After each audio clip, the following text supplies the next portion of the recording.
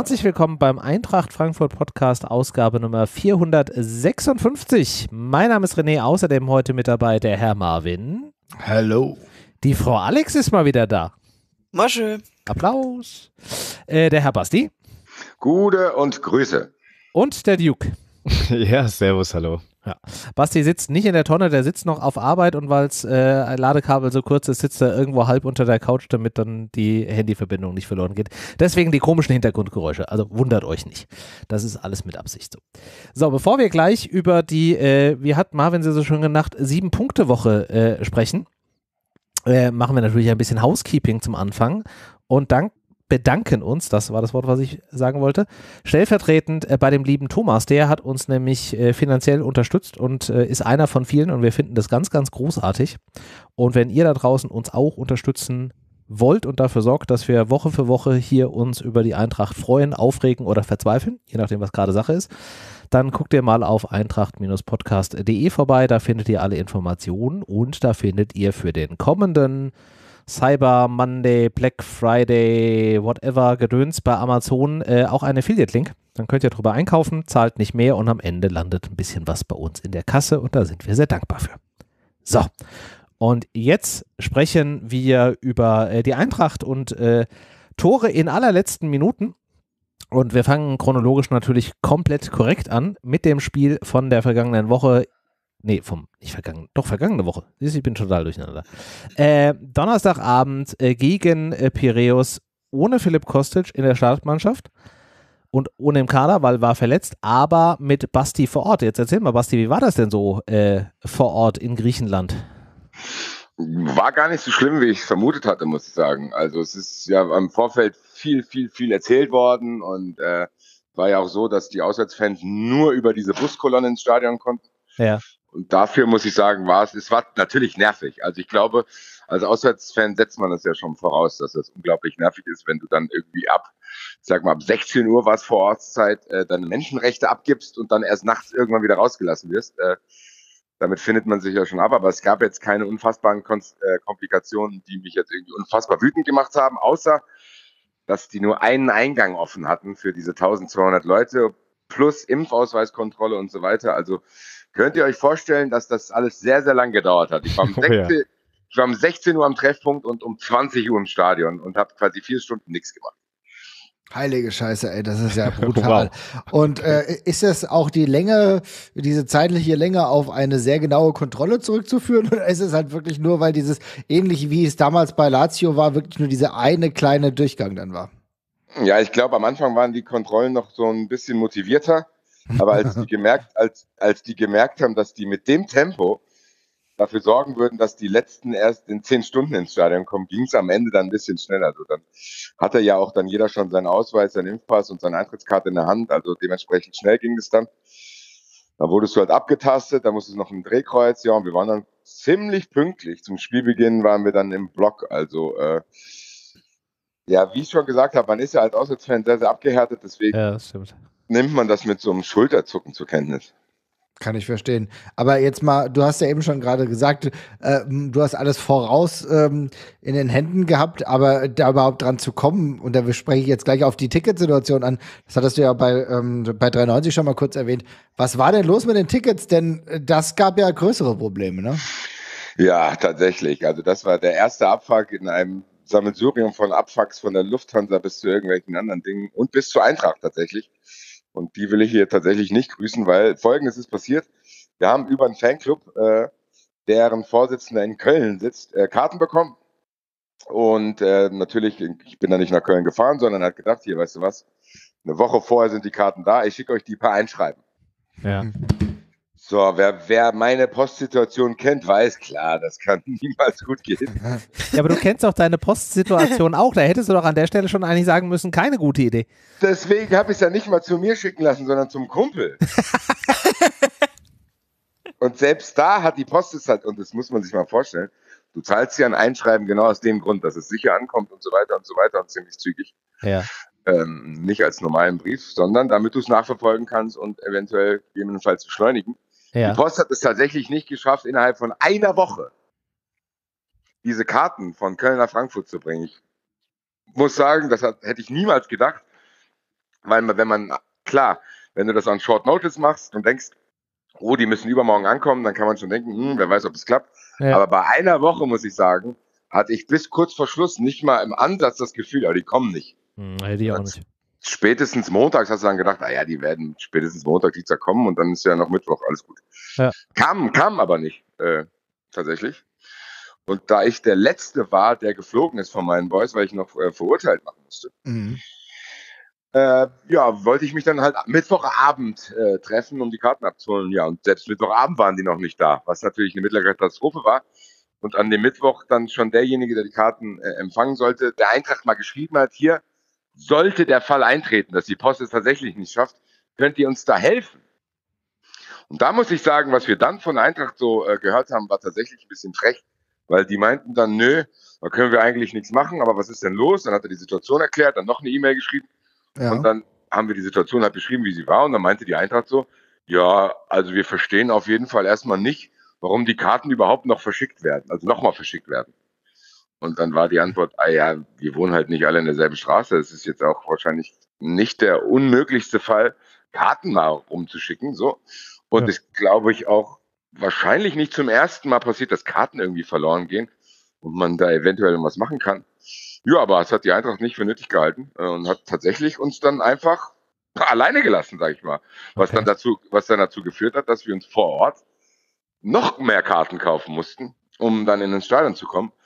Was mich ein bisschen erschrocken hat, weil ich glaube, heutzutage mit diesen ganzen Nummern auf den Karten und mit den ganzen Namen, die du da angeben musst und so weiter, sollte es ja trotzdem möglich sein, irgendwie, da weiß ich nicht, uns digitale Tickets zu schicken oder zu sagen, hier, wir, wir sperren die alten und stellen euch drei neue aus. Oder irgendwas wird da ja möglich sein. ja. Scheint nicht der Fall gewesen zu sein. Fand ich ein bisschen blöd, weil die Eintracht ja dann mit dieser flapsigen Antwort, ja, sie verstehen überhaupt nicht, warum die überhaupt nochmal verschickt wurden, äh, uns dann tatsächlich hat stehen lassen. Ja, müssen sie ja auch nicht. Ist doch scheißegal. Also was müssen die denn verstehen, warum ihr sie verschickt? Das, das trägt ja überhaupt nicht zu dem Fall bei. Ich kann die auch verlieren. Mein Gott, kann passieren, Alter. So. Ja, ja, also Ja. das ist ja genau, also das ist ja das Absurde. Also erstmal natürlich, ich finde es ja schon grandios, dass ein Einschreiben von Köln nach Frankfurt ne- äh, eine Woche dauert. Da muss man auch die Deutsche Post fragen, was eigentlich mit denen los ist. Du kannst, ehrlich gesagt, kannst du mit einem scheiß Liegerad von Frankfurt nach Köln oder von Köln nach Frankfurt fahren und du hast, und du hast die verfickten Tickets schneller. Also da stelle ich mir Ja, wirklich die Frage, was da denn los ist. Also es können doch nicht alle Verbindungen kaputt gegangen sein. Also äh, das ist auf der einen Seite absurd. Aber dann muss ich natürlich sagen, dass auch hier keine Hilfe angeboten wird. Kein Assist Assistent, sie hat für die Tickets bezahlt. Das ist natürlich auch, also zumindest sehr unglücklich. Das ist doch kein Drama. Irgendwo werden die doch ein Druckergerät haben oder äh, einem das ausstellen. Und außerdem, warum passiert das nicht sowieso auf digitalem Wege Ich wollte gerade sagen, ja? war, das, war das nicht auch eins der Argumente für diese Mein Akida-App, dass dann da irgendwie Ja, Tickets da muss, aber da, da muss man ja dran Schutz nehmen. Die Ja, können das- ja die die, können nichts. Auswärtskarten. Die Auswärtskarten können die ja nichts. Ja, okay, stimmt. Das ist natürlich eine Aber die hätten sich ja zumindest mit Olympiakos äh, in Verbindung setzen können. Zumindest so tun. Die können ja auch am Ende sagen, wir können nichts für euch machen, weil die zu faul sind. Aber dann tu wenigstens so. Sag, wir haben Ja, alles probiert, wir haben alles probiert, hat nicht geklappt, okay, scheiße. Aber Entschuldigung, ich muss jetzt erstmal die Hintergrundinformationen hier genau verstehen. Ist ja die behindertste Antwort, ne? Also, Und dann, und dann versteht er die nicht. Und dann, ich verstehe, also ich, ich kann ihnen da nicht helfen, weil wir verstehen überhaupt nicht, warum die überhaupt nochmal verschickt wurden. Alles klar, tschüss. Ja, gut. Ja, Ach du je. und wisst ihr, wann diese Karten angekommen sind? Jetzt, genau. das Heute Morgen. ja, Do fragen. Donnerstagmorgen. Nein, tatsächlich am Spieltag eine Stunde vorm Spiel. Wow, Das ey. heißt, wir standen, wir standen in dieser ewigen Schlange vor diesem ein Eingang und haben dann quasi äh, ein Bild geschickt bekommen, wo eben jene drei Karten drauf abgebildet waren. Habe ich auch gedacht. Sensationell. Vielen Dank, liebe Post. Äh, keine Ahnung. Auf jeden Fall, Aber, aber, aber äh, jetzt nochmal, äh, du bist da mit dem Bild von den Karten reingekommen oder hast Nein, du nein, nein, wir mal haben neue- ganz andere wir- Karten gekauft? wir haben uns schon, schon morgens neue Karten gekauft. Äh, Wie teuer waren die? boah, das war dann am Ende so ein Mix aus verschiedenen, ich glaube 160 Euro für drei Karten haben wir dann nochmal bezahlt. Uff. Okay, krass. Mhm. Plus halt vorher schon die 120 für drei, also insgesamt. Schmale 270 Euro Also jetzt mal ganz ehrlich.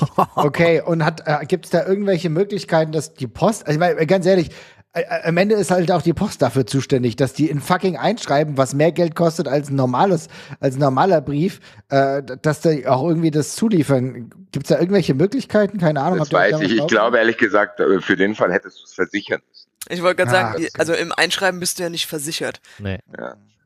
Also Ein Einschreiben regelt, ich regelt der dann auch nur, damit der Empfänger das sicher kriegt oder was weiß ich, weiß keine ja, Ahnung. dass du halt einen Nachweis Genau, die hast, Nachverfolgbarkeit. dass es zugestellt Genau. wurde, aber mehr halt auch nicht. Ja, du kannst es auch super nachverfolgen. Du kriegst ja eine Nummer. Dann kannst du quasi in diesem Status immer sehen, dass es nicht bewegt wurde. So, ja, Ja gut, aber du hattest zumindest die Sicherheit, ohne an den Briefkasten zu gehen, dass es noch nicht da ist. Es hat ja auch einen Genau. gewissen Vorteil. Also, Ja, ja. Also man muss auch mal die positiven Ja, Seiten raus. Wie gesagt, keine Ahnung. Aber gut, ich war ja dann irgendwann im Stadion und da muss ich sagen, die Stimmung war einigermaßen cool. Natürlich war die nach diesem Last-Minute-Tor dann äh, sensationell. Also diese Aftergame-Stimmung war für mich das Beste seit Corona. Äh, so zehn Minuten am Stück, Europas beste Mannschaft gesungen. Die Mannschaft war da, war, war glücklich. Wir haben Trapp noch abgefeiert, als er Interviews gegeben hat, Chandler. Es war ganz geil, aber ich hatte tatsächlich echt eine anstrengende Woche, dass ich dann nach dem Spiel nur noch essen war und dann direkt ins Bett gefallen bin. Ja. Und Glaub. noch schnell Fußball 2000 gedreht habe und dann war ich einfach im Bett und ja, war einigermaßen zufrieden, aber ich Aber, muss sagen, ich glaube, den ersten Gedanken, den ich beim Zubettgehen hatte, war, naja, so wirklich freuen werde ich mich über dieses Last-Minute-Tor und nur, wenn wir in Fürth gewinnen. Mhm. Und jetzt ist- bist du, jetzt bist du total erfreut. Nein, weil ich, Sieg gegen Fürth. Weil ich das Kleingedruckte nicht gelesen habe und das Kleingedruckte war tatsächlich die Leistung, mit der der Sieg zustande gekommen ist. Genau, ich glaube, darüber können wir ja gleich noch sprechen, René. Äh, wollen wir jetzt zu dem Spiel, wollen wir da noch drauf eingehen, zu dem äh, Piräus-Spiel oder was ist dein Take? Ich hätte noch, ich hätte noch einen Zwischentake, so inzwischen. ganz anderes Thema, Ja, was aber so Okay. ein bisschen zu diesem Ding passt, dass äh, der Basti sich über die Eintracht so geärgert hat. Weil ich ärgere mich tatsächlich die ganze Zeit schon oder die ganze Saison jetzt schon so, so latent ständig über die Eintracht.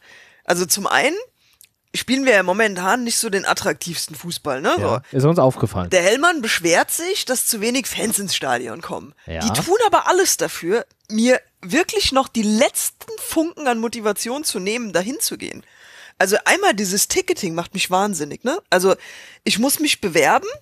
Ist ja alles, ne? Corona verstehe ich. Ich muss mich für mein Ticket bewerben, dann werde ich irgendwann ausgelost, dann darf ich es mir bestellen.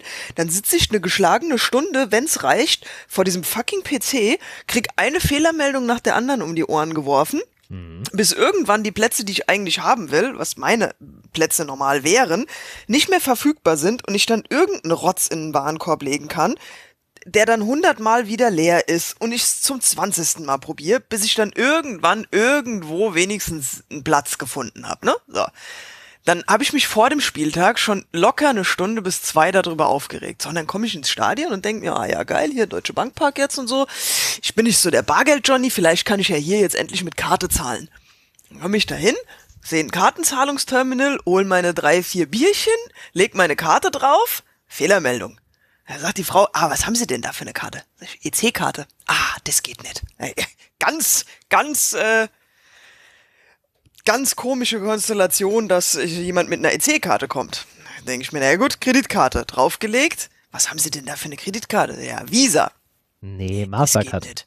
Genau. Du kannst nur mit einer fucking Mastercard zahlen. Warum? Was, was, was, stimmt denn nicht mit euch? Warum kann ich denn 2021 im Stadion mein Bier nicht mit meiner EC-Karte bezahlen? Dann habe ich mir beim nächsten Mal gedacht, okay Leute, dann leckt mich halt, mache ich dieses blöde Mein Aquila Payment, bla bla bla Ja. Und hinterleg dann da meine Kreditkarte, dann zahle ich halt mit eurer Scheiß-App. Nee, da hinterlegst du nicht deine Kreditkarte, da machst du einen neuen Kreditkartenantrag bei der Deutschen Bank für eine Mastercard. Ja. Also ist quasi das gleiche in grün. So, und alles, was mir dann diese ganze neue Catering, Stadion, bla bla bla Dings bringt, ich kann in meinem Blog jetzt ein Rosé trinken. Ja. Also Prost. wollt ihr mich denn verarschen? Klingt doch, klingt doch gut. So ein, so ein Roséchen. So, und dann stellt sich ein Hellmann hin und sagt, ich verstehe gar nicht, warum kommen die Fans denn nicht? Was ist denn da los? Nee, nee, also da sind nicht viele Argumente im Moment im Lostopf für mich, samstags, wenn es regnet und nur fünf Grad ist, meinen Arsch ins Stadion zu bewegen. Da, ja. Naja, wir haben hier natürlich auch eine ganz andere Situation. Also ich meine, wir haben es ja letzte Woche schon mal skizziert. Ich glaube, als wir in der Folge 40% Eintracht ähm, darüber gesprochen haben, dass halt vieles momentan nicht so wirklich attraktiv ist. Natürlich der Fußball auf der einen Seite, äh, der momentan bisschen zu wünschen übrig lässt. Da werden wir ja gleich nochmal auf die Details drauf eingehen. Ähm, ergebnistechnisch sieht es dann ja trotzdem dann immer noch okay aus. Aber wie gesagt, das ist nicht wunderbar attraktiv. Du hast natürlich auch mit der fehlenden Fanszene ist es für viele Leute weniger attraktiv ins Stadion zu gehen, selbst wenn sie sich nicht zur Fanszene äh, selbst dazu zählen, sind sie aber für auch der Atmosphäre, sage ich mal, zuträglich oder ähm, empfänglich und das mhm. fällt dann auch weg. Das heißt, das ist auch ein wichtiger Punkt. Und dann zusätzlich ist es natürlich auch einfach relativ viel Geld. Ich weiß nicht, ja, natürlich, wenn du deine Dauerkarte jetzt einlöst, dann geht das. Aber für viele Leute, gerade wenn du halt nicht alleine bist oder gerade wenn du dann einen Abend dann auch äh, dementsprechend trinken gehst ähm, und dann dir das Spiel anguckst, dann ist das relativ viel, insbesondere ja, auch in Anbetracht der Tatsache, dass wir gerade halt auch mit der Inflation auch ein paar Schwierigkeiten haben äh, und nicht jeder irgendwie unfassbar viel Geld verdient. Also da kommen viele Dinge zusammen. Aber dann macht's mir doch nicht noch extra schwer. Warum kriegen die denn seit Jahrzehnten diesen scheiß Online-Ticketverkauf nicht geregelt? Also das kann doch nicht wahr sein. Ja, ja ich glaube, du hast die Probleme, hast du, glaube ich, das schon so ein bisschen mitskizziert. Das ist halt Corona und für die ist, glaube ich, glaube nicht, dass das Ticketing-System darauf ausgelegt war, dass die das so machen müssen. Gerade in der Zeit, wo die es umstellen wollten, in Verbindung mit dieser App. Also ich glaube, da ist dann auch im Endeffekt bei diesen ganzen Schnittstellen zwischen Ticketing und App und Merchandise und App und so, da ist wahrscheinlich tatsächlich nicht alles glatt gelaufen. Ja, und was äh, du natürlich auch nicht vergessen darfst, ich meine, das kennst du, Alex, ja sicherlich auch aus, äh, aus dem Berufsleben. Wenn du halt weniger Einnahmen hast, weil du halt irgendwie ohne Zuschauer kalkulieren musst, dann überlegst du dir halt auch, für welche Projekte du jetzt da irgendwie Kohle ausgibst und für welche nicht. Und wenn dann da steht, irgendwie, weiß ich nicht, x Millionen für äh, Ticketsystem erneuern, du hast aber irgendwas, was so leidlich funktioniert und du kannst die Kohle nicht ausgeben. Es ist doch erneuert, es ist doch einfach nur überlastet. Ja. Da gibt's doch, da gibt's doch mittlerweile Lösungen für, die auch nicht die Welt kosten. Aber wenn ich nun mal meine Tickets alle stichtagsgenau um 10 Uhr die Leute auch vor den PC zerre und sage, ab 10 Uhr dürft ihr, ja, dann muss ich doch gucken, dass ich wenigstens in der Zeit von um 10 bis um 12, wo der Hauptandrang ist, mal irgendwie dafür sorge, genügend Ressourcen zu haben. Oder ich sag einfach, ja, ist mir nicht so, ist mir nicht so wichtig, dann ist es halt so. Ja, mhm. aber dann beschwer dich bitte auch nicht, dass weniger Leute ins Stadion kommen. Und wenn ich mit der EC-Karte da oben nicht bald mein Bier bezahlen kann, dann. Oh, was ist. Äh, musst du weiterhin oh, Rosé trinken. Verstehe, verstehe das auch nicht. Also wer, wer bringt denn bitte Roséwein in, ach, in der Kurve in Catering? und denkt, der hat der jetzt. Dennis trinkt doch immer Roséwein, ne? ich, ich, ich trinke Roséwein, okay. Ja. Äh, also wenn es nichts anderes gibt, äh, Marvin, dann auch gerne Roséwein, ja. Sagen, wenn, die Aus, wenn die Auswahl eng ist, kann man auch schon mal äh, um 5 Uhr mit Haselnussschnaps anfangen. oh ja, oh ja, oh ja. Ah, ja, ja, ja. Ja, Liebe Grüße das, an äh, Timo Werner. aber Alex, äh, um, um mal deine Punkte noch mal kurz auf, äh, äh aufzugreifen, ich, ich sehe es auch, ich verstehe deine Problematik, ich finde es auch total zum Kotzen, aber, man muss natürlich sagen, aber, ich bin ja gerne bereit, auch ein bisschen länger zu äh, sein. Es wäre schön, wenn jetzt bei der Auslastung wieder berücksichtigt werden würde, wer hat denn wie eigentlich seinen Platz und was hat er vorher mal gebucht, dass es nicht mehr ganz so chaotisch ist. Ich weiß gar nicht, ob es mittlerweile auch schon so ist, ähm, dass du jetzt wieder Anspruch auf deinen Platz hast. Ich habe keinen Plan, ähm, nee. wie es jetzt für die neuen und nächsten Spiele ist. Aber, ja, aber das äh, Ding ist ja auch, du kannst ja, du kannst ja auch nicht in den Preiskategorien wechseln, ne? Also ich habe ja, dann ja. einen Kumpel, ja. der zahlt für seine Dauerkarte ein Zwanniger im Jahr mehr, weil er zwei Reihen unter mir sitzt und wir wollten halt halbwegs zusammensitzen. Der kann aber nicht in der billigeren Kategorie sitzen, ich kann nicht in der teureren Kategorie sitzen, also können wir auch keine Tickets zusammen kaufen. Also das ist alles. Ah ja, okay. Mann, Mann, Mann. Okay. Ja, und dann ist aber Standardauswahl, ne, bin ja auch ein Trottel, ich kenne mich ja mit diesem Internet nicht so aus. Wenn du deine Karte kaufst, ist so ein Dropdown-Menü, ne? Und da ist Standardauswahl halt Vollzahler, keine Ahnung, Karte 24 Euro, sag ich jetzt mal. Mhm. Ja, ja. habe ich halt nicht gecheckt. So, ihr musst halt extra nochmal drei äh, Schritte machen, um halt Mitglied, EFC, sonst irgendwas, um deine rabattierten Preise zu bekommen. Also ich habe jetzt die letzten Male auch schön Vollzahler Dann ja. danken wir dir alle für die Unterstützung der Eintracht. ja, vielen Dank. Nein, aber, Auf aber scheiß Server dafür bitte. Aber Alex, man muss ja wirklich sagen, ich, ich glaube, der, den Aufwand würden wir doch alle gerne machen. Und wir zahlen auch alle gerne Vollzahler und machen hier, äh, das ist ja das Grundproblem. Ich, Basti, du hast, glaube ich, eben nochmal auch äh, ja angesprochen. Ähm, es macht momentan, das Stadion-Feeling macht natürlich auch nicht mehr ganz so Spaß, wie äh, ist momentan einfach noch nicht so da. Also ich muss sagen, ich glaube, das ist das größere Problem, sonst hätten wir trotzdem ausverkauftes Haus, auch wenn diese ganzen Probleme da wären und jeder äh, 5000 Mal auf Refresh und äh, F5, F5, F5 und die Taste brennt schon, äh, um die Tickets zu bekommen. Ich glaube, das wäre dann trotzdem, wenn dieses Gesamtgebilde passen würde, aber das passt einfach nicht. Na klar, und dementsprechend genau. aber es ist halt Leute momentan weg. eh schon unattraktiv. Ja. Und dann kriegst du dann noch so, wenn du schon diesen scheiß steinigen Weg gehst, kommt jemand neben und haut dir noch einen Knüppel als vors Bein. Das, ja, ne? ja, ja, klar. Hm.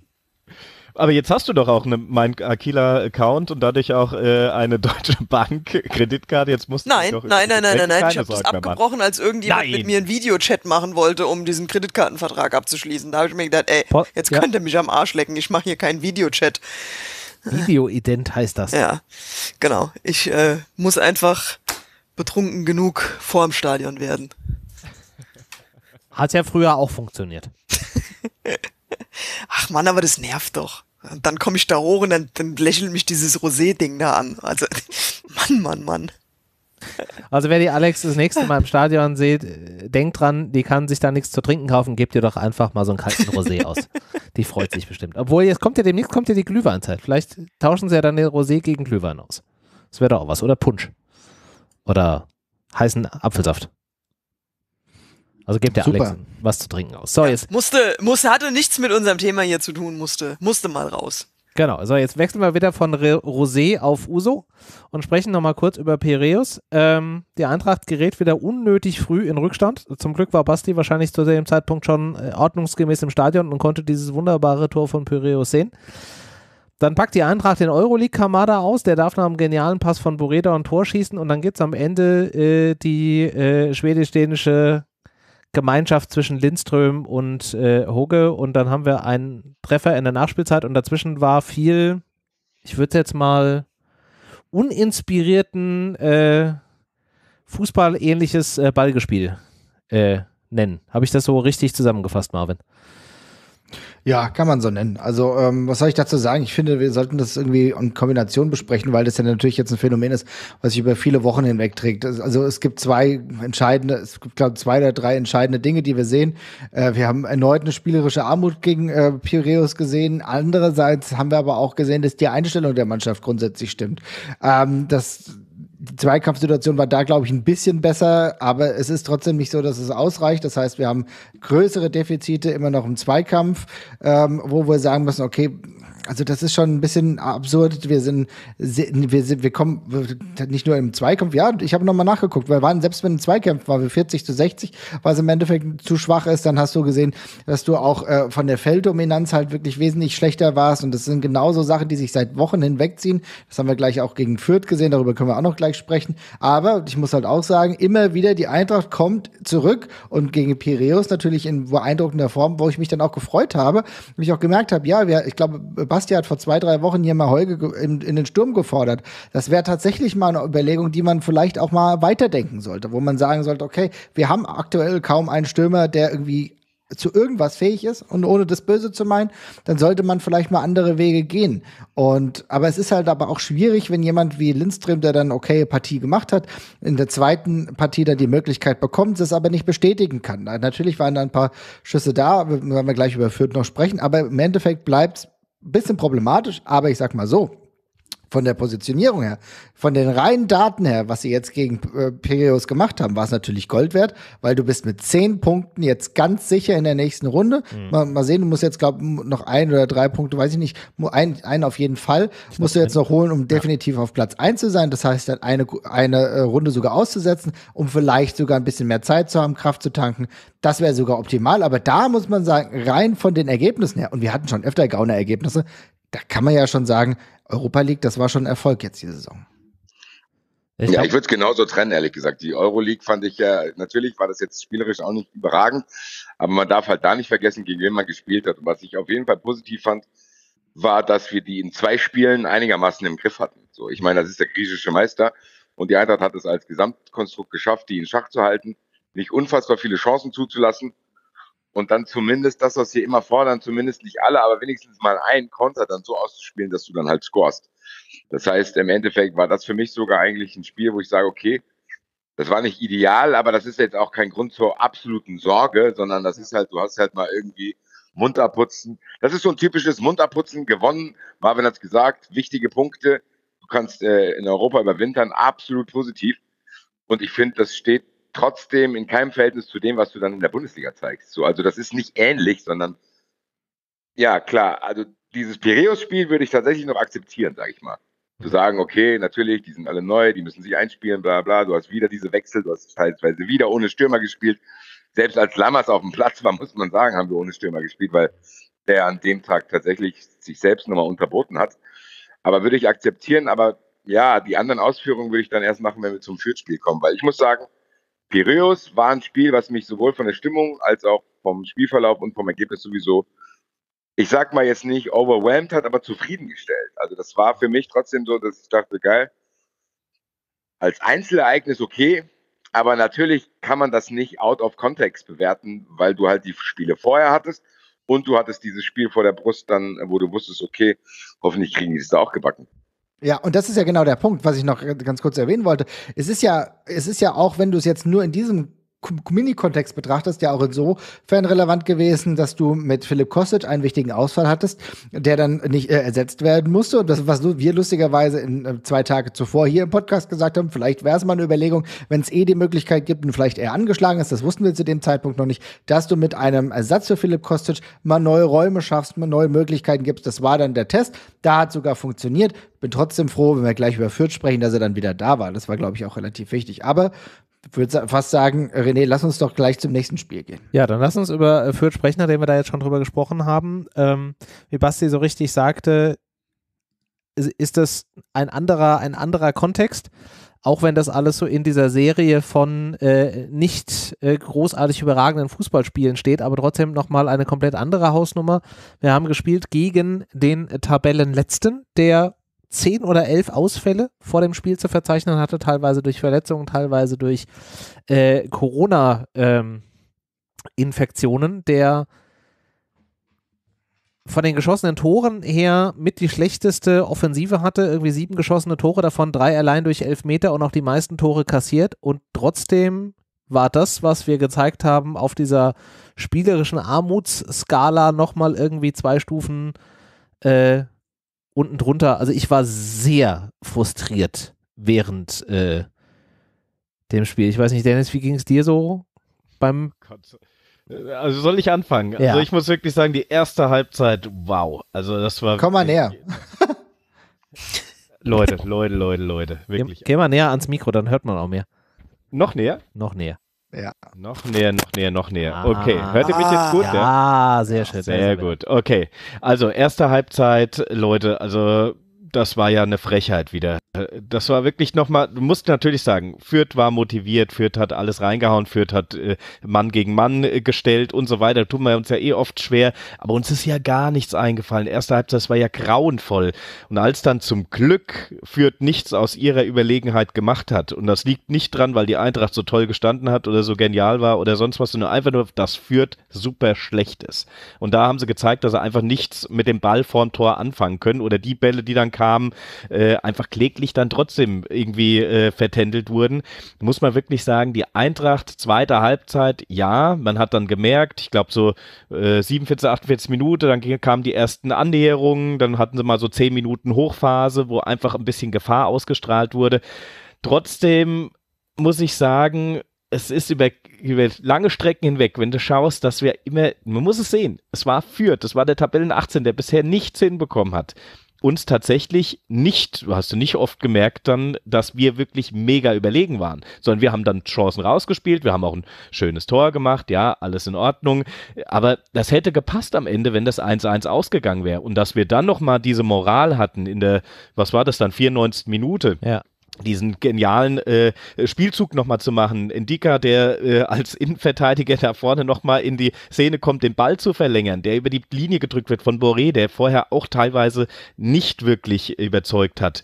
Das ist natürlich ein Happy End und eine geile Sache und ich hatte es vorhin auch nochmal in der in Highlights nochmal mir angeschaut. Äh, das ist schon emotional, da, da freue ich mich und denke so, wow, geil. Aber also wenn du das wirklich sachlich betrachten willst, ist das wirklich grauenvoll wenig gewesen, was die Eintracht da insbesondere in Halbzeit 1 geleistet hat. Das ist wirklich schlimm, schlimm, ja. Ja, ich finde auch, diese erste Halbzeit muss man so ein bisschen trennen, weil wenn man gesondert über diese Halbzeit spricht, denkt man, oh Gott, was ist denn da los so? Also das ist das, was ich meinte. Klar war im Piräus nicht Ja. alles gut, aber Ja. Fürth war tatsächlich die schlechteste Halbzeit der ganzen Saison. So. Hm. Und René hat es ja ausgeführt. Das ist Fürth. Plus, dass sie einen Innenverteidiger haben. Denen fehlen vier Stürmer, insgesamt zwölf Leute. Die können, die strotzen auch nicht vor Selbstbewusstsein. Eigentlich müsstest du, selbst wenn du verunsichert bist und mit bisschen Müdigkeit in den Knochen, müsstest du denen klar machen, hier bei euch läuft heute gar nichts. Und das hat die Eintracht nicht gemacht. Dennis hat es gesagt, das führt da nicht führt, liegt dann nicht an der Eintracht, sondern an Fürth selber. So, und das war eine Halbzeit, wo ich dachte, das kann eigentlich nicht wahr sein. Und das hat mich natürlich an Hertha erinnert, an Bochum erinnert. Und es war halt nochmal eine Stufe drunter. Und dann hast du dich halt gefragt, wie kann das sein? Also wie kann das sein? Und dann machst du dich natürlich auf die Suche nach Gründen. Und ich bin ja sowieso die ganze Saison schon, wahrscheinlich habe ich mich auch zu sehr da drin vernarrt mittlerweile. Aber ehrlich gesagt, wieder ohne Stürmer zu spielen und in der ersten Halbzeit 37 Prozent Ballbesitz zu haben Hm. und führt mit langen Bällen zu bespielen, Ja, also da habe ich, mir- Wahnsinn. da hab ich mir teilweise gedacht, ja Leute, okay, das kann es nicht sein. Und da will ich jetzt auch mich natürlich nicht zu sehr reinsteigern, aber ich will auch nicht alles schönreden. Und das konntest du in der ersten Halbzeit nicht. Und ich finde, das kann man auch ansprechen, zu sagen, die erste Halbzeit war wahnsinnig schlecht.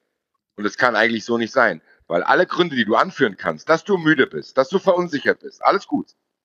Aber so musst du trotzdem nicht auftreten, weil ich muss dann sagen, in der zweiten Halbzeit war es dann so, wie du denkst, okay, es war ja nicht, es war nicht überragend, aber es war quasi den Umständen entsprechend gut. Und die Umstände sind nun mal, dass wir nicht eingespielt sind, dass sehr, sehr viel gewechselt wird, dass wir keinen Stürmer haben, dabei bleibe ich, Hm. dass Lammers und Hauge 90 Minuten auf der Bank saßen, was ich nicht verstanden habe. Und du hast dann halt trotzdem am Ende mit Moral und Glück natürlich auch noch dieses Spiel gewonnen. Aber ich muss zumindest sagen, die erste Halbzeit hat mich so schockiert, dass mein Jubel beim 1-0 noch nicht allzu euphorisch war. Und äh, beim 2-1 natürlich dann doch aufgrund der Situation. Aber es ist nicht so, dass es. Also ich, ich habe ja bei Piräus Mund abputzen, weiter geht's gesagt. Ich weiß nicht, ob man sich nach dem Fürth-Spiel so leicht den Mund abputzen kann. Also ich kann es zumindest nicht, vielleicht übertreibe ich da. Aber ich fand es schon krass. Und ich bin froh, dass jetzt erstmal zwei Wochen Pause ist und ich hoffe, dass das analysiert wird, auch wenn die meisten jetzt unterwegs sind und vielleicht ein bisschen Abstand gewinnen. Aber ich sag's mal so, du wirst dich in den nächsten Wochen nicht darauf verlassen können, ständig in der 90. Minute Tore zu machen, sondern du musst, und wenn's im Kleinen ist, irgendwie ein Instrumentarium und ein Spielsystem finden, wo du irgendwie eine Sicherheit gewinnst und wirken kannst. Genau was Marvin bei Twitter die ganze Zeit während dem Spiel geschrieben hat. Du musst es über kleine Aktionen machen. Wenn kleine Dinge funktionieren, kannst du vielleicht immer einen Schritt weitergehen. Hm. Und Aber das das war übrigens, ja, genau, aber lass mich da mal ganz kurz reingehen, weil das ist ja genau der Punkt, wie die Eintracht dann in der zweiten Halbzeit zum Spiel gefunden hat. Weil, weil sie sich dann wirklich auch ein bisschen auch mehr an diese Kleinigkeiten, ähm, ja, äh, äh, aufgerieben hat, im positiven Sinne, wo du dann auch gemerkt hast, dass ab der, ja, keine Ahnung, 65. oder so, äh, da, habe ich gemerkt, dass die Vierter sind leer. Die, die sind auch sauer gewesen, weil ganz ehrlich, ne, wenn ich teilweise lese, ja, Rekota, der würde bei der Eintracht jetzt mittlerweile eine gute Rolle spielen. Mach mal halblang. Brudi, mach mal halblang. Ui, Weil ganz Gott, oh ehrlich, Gott, oh Gott, ja, ja. der war in der zweiten, nein, der war in der zweiten Liga. Ich habe den höchsten Respekt davor, dass er überhaupt so zurückgekommen ist, dass er in der zweiten Liga alles weggebombt hat. Alles gut, ich finde, und dass er Kapitän bei Fürth würdig. Aber wie viele Chancen der auch vergeben hat. Und. Fürth hat im Rahmen ihrer Möglichkeiten echt ein gutes Spiel gemacht. Na, mit den ganzen Verletzten. Ein Leveling hat mir super gut gefallen. Da merkst du, dass es zu Recht ein U21-Nationalspieler ist. Ein Willems hat, wir haben ihn zu selten in der letzten Zeit bei der Eintracht gesehen, auch ein bemüht gutes Spiel gemacht. Also selbst ein Griesbeck, der, der passt da ja in die Innenverteidigung gar nicht rein und hat trotzdem probiert.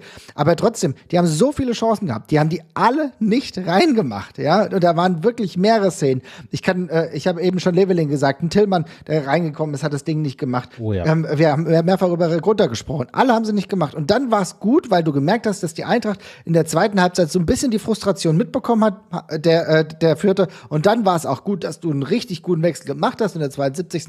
mit Rode, der dann als erfahrener Mensch dann wirklich sich ein Herz gefasst hat, gut von einem nicht guten Kamada die Vorbereitung hin zu einem äh, Rode, der das 1 zu 0 gemacht hat. Im Gegensatz zu Basti, muss ich sagen, habe ich eigentlich schon gedacht, dass es das jetzt war. Aber ich, da wurde ich ja auch eines Besseren belehrt. Naja, ich muss, glaube ich, nochmal auf, äh, aufklären. Ich, ich habe nicht gedacht, dass da noch was passiert. Aber es war nicht so, dass ich unfassbar laut gejubelt habe, sondern ich stand schon noch ein bisschen unter dem Eindruck dieser ersten Halbzeit. und habe gedacht, okay, äh, boah, krass und hätte wahrscheinlich noch ein bisschen gebraucht, um mich darüber zu freuen, aber dann am Ende ist ja sogar noch der Ausgleich gefallen und da muss ich sagen, als dieser Ausgleich gefallen ist, habe ich gedacht, wir sehen hier gerade einen Moment, der irgendwie die Zukunft ein bisschen mitbestimmt. Ja. ja. Also ich habe gedacht, okay, da passiert gerade was, was in irgendeiner Form irgendwelche krasseren Auswirkungen haben wird. Und Gott sei Dank ist es nicht passiert, weil du es dann halt noch gedreht hast und das jetzt dein Spin ist. Aber man muss sagen, ich will nicht wissen, was los gewesen wäre, wenn die Eintracht nicht in Fürth gewonnen hätte. Und äh, Wobei man, umso besser ist es, dass es passiert ist. Und man auch dazu sagen muss, dieser Ausgleich hat sich schon angedeutet. Also wir haben schon Minute um Minute immer mehr dafür getan, da auch Fürth wieder, fand ich, ins Spiel zurückzuholen. Ja, ging, ging, aber eigentlich war Fürth trotzdem fertig. Das größere Problem war, dass du, und das muss man als kritischen Punkt hier immer auch mal ansprechen. Ich weiß, was ich teilweise schon lese, dass mittlerweile, dass man alles in Watte hüllt und dass überhaupt gar nichts mehr Kritisches im Endeffekt dementsprechend gesagt werden kann. Aber Fakt ist schon, dass vor dem 1 zu 1 der Fehler im Wechsel passiert ist. Du setzt vor einem, vor einer potenziell gefährlichen äh, Situation, Standardsituation, wechselst du nicht die Mannschaft aus, was dann dazu führt, dass vor dem Standard dann die Ordnung verloren geht. Also du, dass du diesen Wechsel vornimmst, dass ein Touré äh, ausgewechselt wird, nachdem er erst eingewechselt wurde, darüber kann man übrigens auch sprechen. Ja. Aber dass du das vor diesem, vor diesem Gegentor machst, das war ehrlich gesagt in meinen Augen ein Fehler. Das, äh, ja. Und Ilsanker kann dafür nichts, dass er diesen Fehler dann da macht. Aber der Fehler lag in der mangelnden Struktur beziehungsweise in der mangelnden Zuordnung, die aufgrund dieser Einwechslung passiert ist. Das finde ich schwierig. Ja, es ist schon. Am, am Ende ist es so, umso länger wir über dieses Spiel reden, und ich meine, es ist auch wichtig, dass wir es äh, ansprechen. Man muss aber trotzdem sagen, Gott sei Dank sind die noch zurückgekommen. Und das hat mir ehrlich gesagt Mit was für einer beherzten Leistung dann auch noch. Ja, ne? ich meine, das war ja so, du weißt, du hast nur noch zwei Minuten, drei Minuten Zeit und hast gesagt, nee, wir haben keinen Bock, das zu akzeptieren. Und das hat mir echt, zumindest für den Moment, ein bisschen Mut zurückgegeben, ja, zu sagen, ey, die, die wissen, dass Scheiße läuft. Ja aber die, die, die akzeptieren es nicht und lassen die Köpfe hängen, sondern die, ja. die haben noch irgendwie diese intrinsische Motivation zu sagen, ey, irgendwie wollen wir uns dagegen wehren. Ich weiß noch nicht genau wie, weil ich glaube, dass wir alle weiterhin ratlos sind, was das Hauptproblem in dieser Mannschaft ist. So, ich meine, man kann immer viele einzelne Sachen ansprechen. Aber das zu sehen und dann, was Dennis gesagt hat, dieser Jubel, wo alle, alle auf einen Haufen rennen, und es so aussieht, als hättest du quasi in der 90. Minute ein Tor für den Aufstieg gemacht oder irgendwas. Ein Kevin Trapp heult. Ja, ja, genau, ja, der hat ja, genau. zwei blöde ein Gedanke. ja. ja, wobei da weiß ich gar nicht ganz genau, inwieweit das mit seinem Berater vielleicht auch zu tun hat. Äh, der ah, sehr guter Punkt. Mhm. Also das ah, würde ich jetzt auch okay. ehrlich gesagt aus Respekt okay. vor Kevin Trapp gar nicht anfangen wollen, da was reinzusetzen. Ja. Nö, aber wie auch immer, aber wie auch immer, es war eine emotional aufgeladene Situation und sie genau. hat sich dann entladen und ich glaube, das kann man sagen. Ne? Genau, und die Eintracht hat dieses Tor ja nicht so hingenommen, so von wegen, mein Gott, scheiße, jetzt haben wir sie doch noch gerettet, sondern du hast denen schon gemerkt, dass die auch wissen. Also ich meine, die Einz was mir wichtig war zu sehen, dass da ein Bewusstsein ist, dass die Dinge dann nicht zu funktionieren scheinen, trotzdem irgendwie Mentalität weggemacht werden wollen du musst dir dann halt jetzt mal irgendwann überlegen, dass du selber gar nicht mehr in diese Drucksituation kommst, sondern dass du selber wieder Zutrauen hast. Und ich glaube es, ich glaube, wir hatten es hier in den letzten Wochen auch schon mal gesagt, es hängt halt auch ganz, ganz, ganz viel mit der Psyche zusammen, zu wissen, okay, es geht, es geht, es geht. Und das müssen die sich langsam, glaube ich, wieder ein bisschen klar machen. Mhm. Und wenn du dann noch diese offenkundigen Probleme wie kein Stürmer, sehr, sehr viel Rotation, das System ist jetzt ein paar Mal gewechselt, äh, dann kann das auch schnell wieder in eine positive Richtung sein. Aber ich will trotzdem genau, was Marvin sagt, man muss aufpassen, dass man da nicht zu unkritisch ist, weil man muss festhalten, bis jetzt läuft es nicht optimal. Und Glasen hat es ja nach dem Spiel auch gesagt, und das hat mich dann wieder so ein bisschen zurückgeholt in meine Downer-Phase, weil er meinte, ja, er ist sehr, sehr stolz auf die Mannschaft und bla bla bla. Und wir können jetzt bis zum Winter nur ganz kleine Schritte machen und können dann erst im Januar wieder trainieren. Wo ich gedacht habe, boah, das ja, ist wobei ich glaub, eine lange Zeit. Also ich habe da können wir jetzt vielleicht auch mal kurz drüber sprechen, wie ihr diese Aussage wahrgenommen habt. Also mein Verständnis, ich habe mir vorhin extra nochmal diese Pressekonferenz angehört, weil ich nochmal den exakten Wortlaut haben wollte und mein naja, Verständnis... Es, es ging ums, äh, nach dem Feldinterview, das meinte ich. Also ich beziehe mich nicht auf die Pressekonferenz. Achso, weil er hat in der Pressekonferenz auch nochmal aufgegriffen und vielleicht ist da natürlich auch so diese Diskrepanz, dass das eine so direkt nach diesem emotionalen Moment, der natürlich auch für so einen Trainer jetzt vielleicht nicht so komplett losgelöst ist, ähm, im Vergleich zu der Pressekonferenz, ich habe mir die Pressekonferenz angeguckt und nicht dieses On-Field-Interview, äh, wo aber auch auf diesen Punkt nochmal angesprochen wird. Und mein Verständnis davon ist, dass er sagt, wir können kleine Schritte machen auf, das, auf diesem Weg zu einem, ich nenne es jetzt mal klasnerischen Spielsystem, weil er ja Mhm. keine Möglichkeit hat in diesen jetzt Länderspielwoche, es waren irgendwie 13 Spieler, die jetzt quasi nach dem Abpfiff am Sonntag quasi direkt zum Flughafen in Flieger und ab zur Nationalmannschaft, plus dann ja äh, vier aufeinanderfolgende englische Wochen. Und dann hast du vor der Winterpause eine einzige Woche, wo du wirklich komplett alle da hast und eine Woche durchtrainieren kannst. Sagt, okay, bis wir diesen großen Schritt zum neuen Spielsystem machen können, das schaffen wir erst nach oder mit Beginn der Winterpause. Und bis dahin, so ist mein Verständnis, hat er sich jetzt selbst das Ziel gesetzt zu sagen, wir machen eben diese kleinen Dinge, wir bringen Stabilität rein, um besser zu werden, aber den großen Schritt zum, zur Weiterentwicklung, den machen wir erst dann. So habe ich das verstanden, was ich auch im Rahmen dieser, dieser Möglichkeiten für nachvollziehbar halte. Ja, Mhm. ehrlich gesagt, wenn du es so ausführst, wie du machst, dann habe ich auch vollstes Verständnis und dann würde ich sogar mitgehen. Finde ich sogar Ich gut halt- erklärt, muss ich sagen. Ja. Mhm. Super, super gut erklärt. Und äh, nee, ich meine, auch Glasner hat es gut erklärt. Nicht nur du, sondern Ah, ihr beide, ihr habt alles richtig gemacht. Dankeschön. Sowohl Endlich, danke. René, nein, aber, großes Lob an dich und großes Lob an Glasner. Aber was ich sagen will, ist auf jeden Fall, ich stand vielleicht auch noch zu sehr unter dem Eindruck von dem Spiel. Und ich meine, mit den Ausführungen, die du gerade super aufgedröselt hast, hat er das ja bestätigt, was ich eigentlich will. Und was ich eigentlich nur sagen will, ist, ich will nicht, dass er stolz auf die Mannschaft ist, wenn die so eine erste Halbzeit liefert. Und Ja. ich will, egal wie widrig die Bedingungen sind, und die sind widrig, ich meine, wir- das können wir auch nicht wegdiskutieren. Man darf, wenn man, man darf nicht zu alles sehr in Watte packen, man darf es aber auch nicht zu schwarz malen. Wir hatten diesen schwierigen Transfersommer, es gibt kein Corona-Geld. Du hast eine Mannschaft irgendwie, wo viele Spieler, die sich erst an die Bundesliga gewöhnen müssen, alles geschenkt.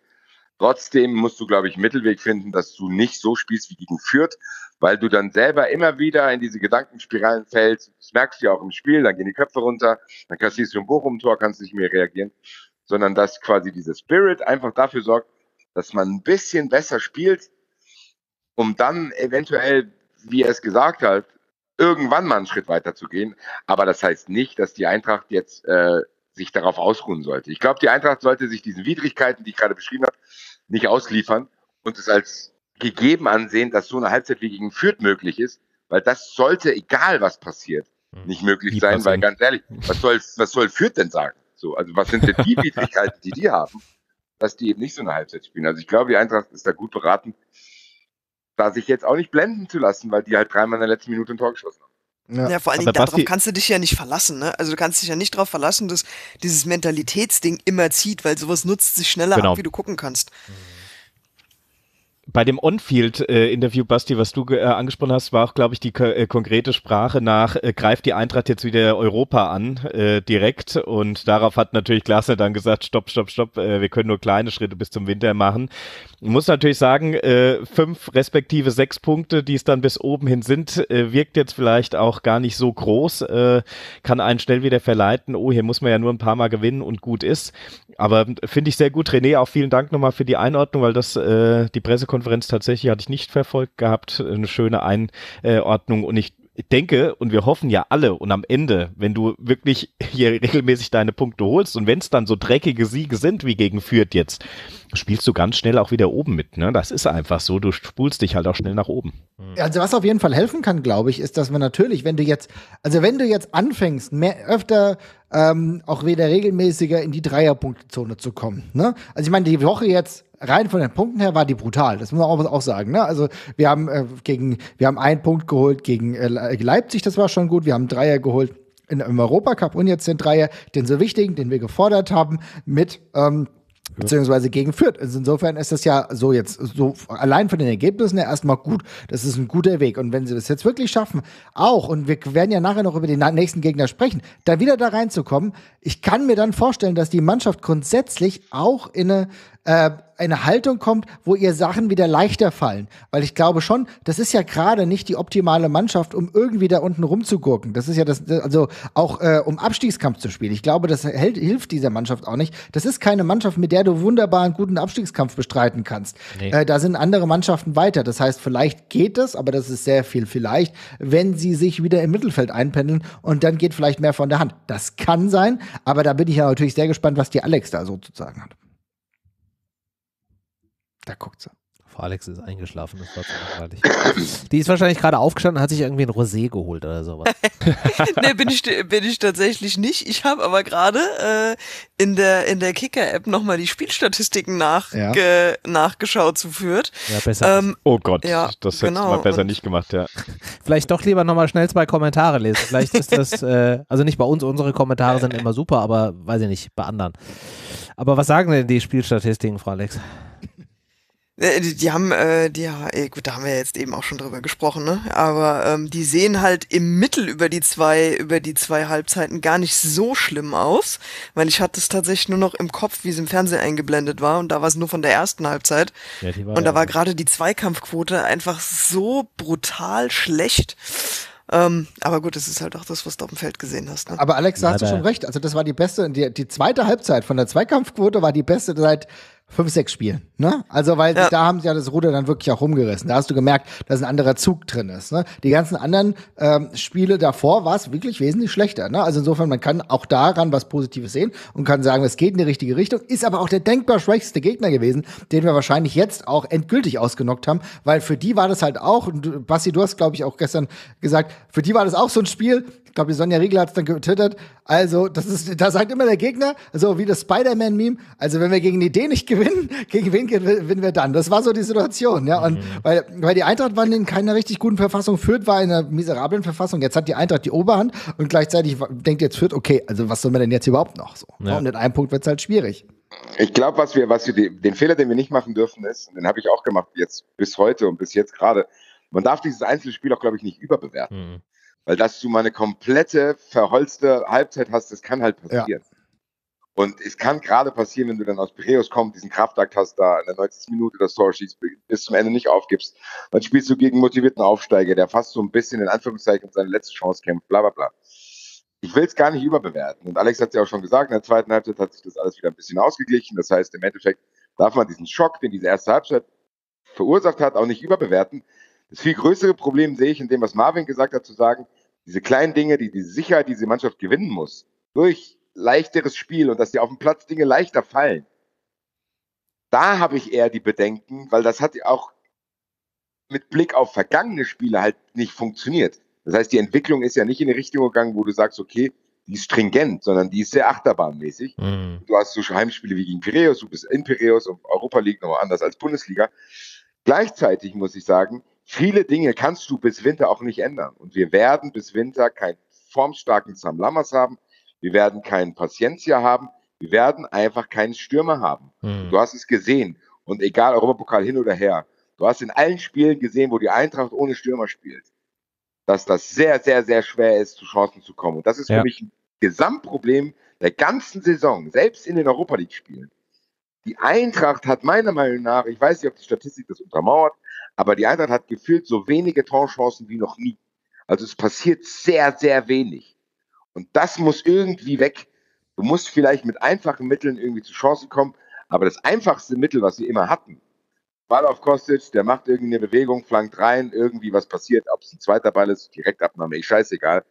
Hast du nicht, weil die Leute, die in der Mitte sind, sind einfach zu klein, da brauchen wir uns nichts vormachen. Und dass Indika ständig vorne rumhüpft und den verlängert und das dann da irgendwie bei Boré landet, das kann auch nicht quasi der Weisheit letzter Schluss sein. Das heißt, so ein bisschen Sorge bleibt bei mir bestehen, weil es ja gezeigt hat, dass in immer wechselnden Formationen sich nichts rauskristallisiert hat, kein Spielsystem, keine Personalaufstellung, wo ich weiß, okay, das funktioniert auf die und die Weise. Es ist irgendwie wie, wir wechseln jede Woche den Rechtsverteidiger, weil die sich immer wieder unterbieten. So, also es ist einfach wirklich so, dass Problematiken da sind, die du auch durch die Sachen, die Marvin angesprochen hat, kriegst du nicht weg.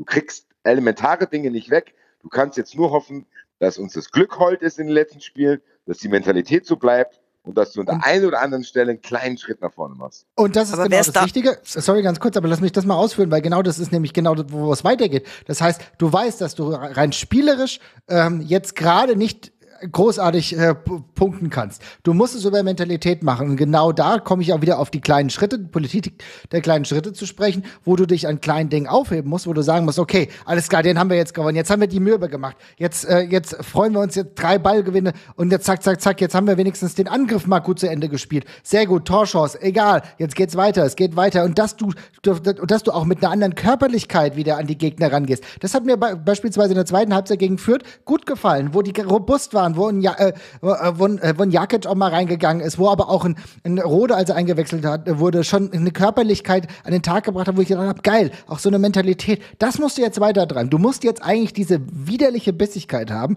Und wenn du es darüber dann schaffst, dann glaube ich auch, dass du zumindest das Publikum, weil ganz ehrlich, das ist ja kein Operettenpublikum in Frankfurt zum großen Teil, die klatschen auch, wenn ordentlich gekretscht wird. Und dann holst du über, darüber dann die Mannschaft wieder und auch die, oder das Team, meine ich. Ja, bitte? Ehrlich gesagt ist das der erste kleine Schritt, den du machen musst. Ich meine, diese Galligkeit hatte die Eintracht in den ganzen letzten Jahren. Die Eintracht war immer so Atletico light. Die Eintracht hat unter Kovac schon körperlich gespielt. Wir waren immer giftig. Wir waren, haben den Gegner gestresst. Und das kannst du auch, wenn du kein System hast. Du kannst giftig sein. Du kannst dich im Anlaufen organisieren. Das traue ich dieser Mannschaft zu. Und eigentlich haben wir sogar sehr gute Voraussetzungen, weil wenn du das als Basis hast, dass du, dass du mental da bist, dass du giftig bist, dass du für den Gegner unangenehm bist.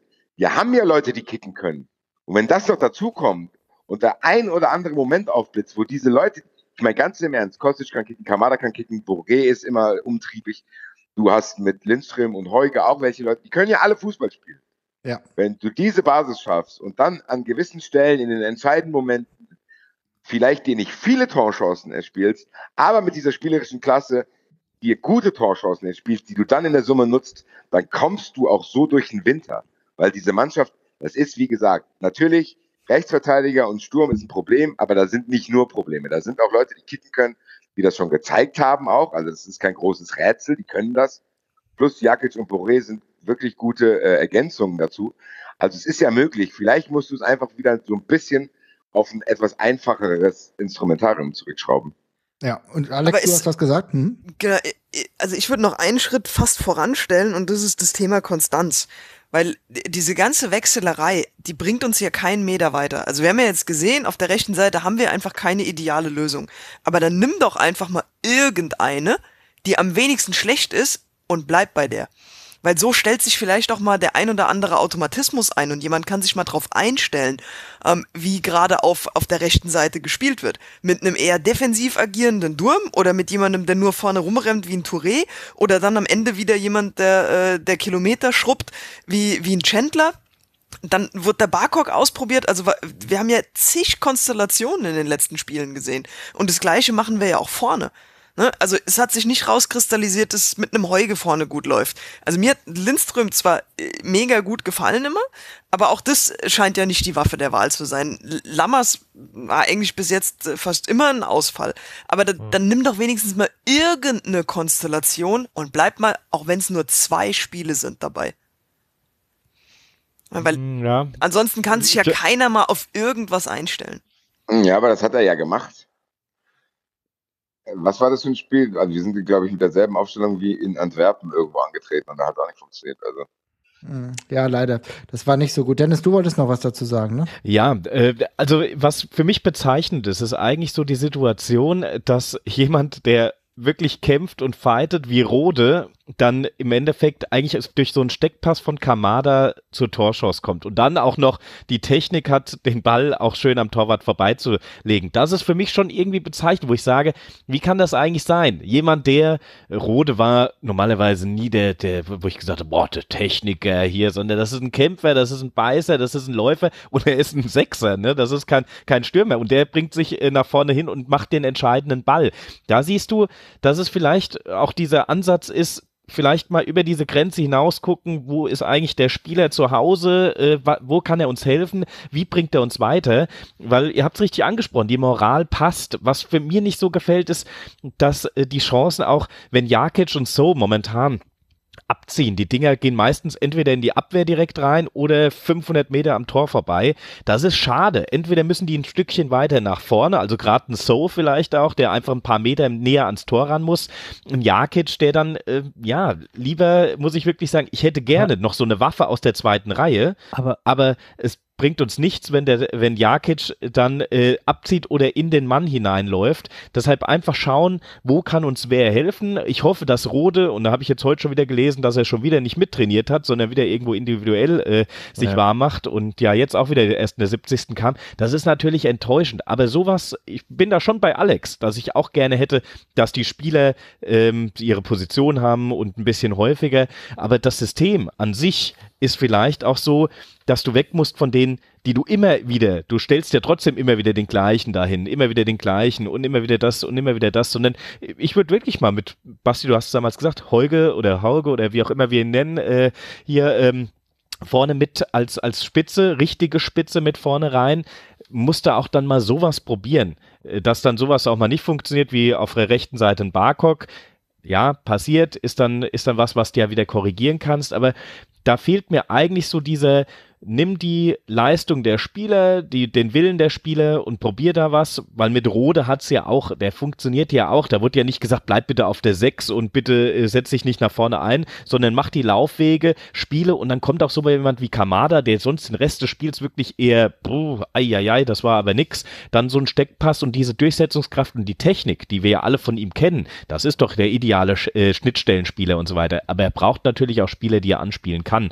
Und da muss man einfach gucken, ob es da nicht im Kader auch Positionen gibt, die momentan etwas positionsfremd eingesetzt werden können. Ähm, das wird mir besser gefallen. So viel dazu, ja. Frau Alex schnauft. Ja, das hat er ja, also eigentlich denkt er ja schon auch in die Richtung, ne? Ich meine, mit Barkok auf der rechten Seite versucht er ja diese eigentlich positionsfremden äh, Sachen schon mit einzubeziehen. Aber also in den letzten zwei, drei Spielen hat er halt auch echt viel probiert. Mhm. Ja. Und wenn ja, halt nichts richtig gesagt, geil ist, dann. Wenn er, aber wenn er das nicht machen würde, würden wir es auch kritisieren. Das ist richtig.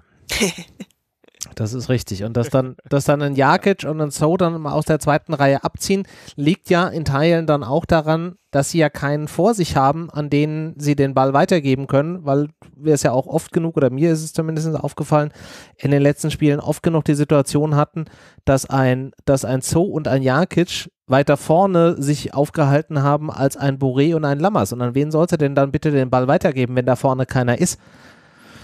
Also ist ja dann auch wieder die Problematik. Ähm, ihr habt es gerade angesprochen, der Trainer probiert auch viel. Und Marvin, du hattest es vorhin auch schon erwähnt. Touré wurde jetzt zur Halbzeit eingewechselt, kam für einen Durm, der auch nicht so richtig den Zugriff zu dem Spiel am Wochenende hatte und wird dann in der 90. wieder ausgewechselt und wie der Trainer ja auch im Nachhinein dann in der Pressekonferenz bestätigt hat, war das jetzt nicht irgendwie, weil er verletzt ist, sondern weil es ihm nicht so wirklich gefallen hat, äh, wie sich Touré dann äh, defensiv äh, aufgehalten und verhalten hat. Alex, du hattest ja gerade eben auch schon gesagt, er hat sich sehr oft äh, nach vorne bewegt, hatte ja auch einen Torschuss, der ja auch, sagen wir mal, zumindest schön anzusehen war und der auch eine gewisse Chance gehabt hätte, vielleicht ein bisschen mehr aufs Tor zu gehen.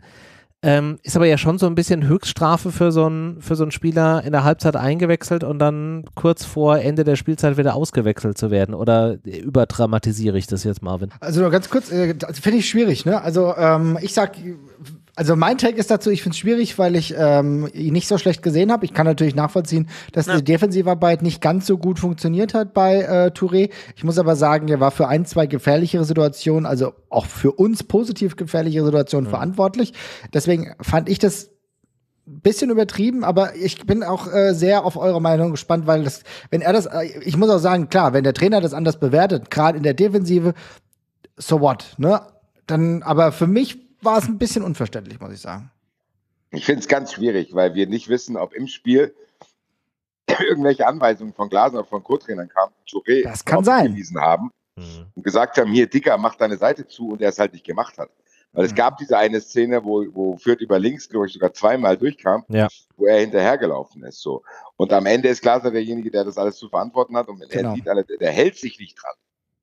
Macht das nicht, was wir sagen, und turnt halt vorne rum, obwohl wir halt irgendwie wahrscheinlich lieber das 1-0 mitnehmen, dann muss er es wahrscheinlich machen. Aber ich hätte mir wahrscheinlich, ich weiß, habe zu wenig Informationen, aber eigentlich bin ich bei Marvin, das geht eigentlich nicht. Weil es war jetzt auch nicht so, dass das unfassbar katastrophal war, dass jeder irgendwie da gesessen hat und gedacht, alle wechseln aus und passiert nicht gleich was, sondern Das war vielleicht taktische Natur, das war was, Glasner hat ihm vielleicht was gesagt und hat gesagt, spiel Rechtsverteidiger. Und der hat halt dann irgendwie ein bisschen rechtes Mittelfeld gespielt und hat da nicht drauf gehört und auch nicht auf Zurufe, keine Ahnung. Ich bin da echt ein bisschen zwischen den Stühlen. Also ich muss aber sagen, da, was da, was, sorry, wenn ich, wenn ich ganz kurz reingehe, aber was da halt wichtig ist, Basti, dass du das halt auch intern gut kommunizierst, ne? so, Weil- und da wollte ich gerade drauf zu sprechen kommen. Das hat er bei Tuta zum Beispiel ja geschafft. Ja, genau. Mhm. Also Hat das ist ganz Tuta- wichtig. Ja, was bei Marvin sagt, ist genau das Wichtigste.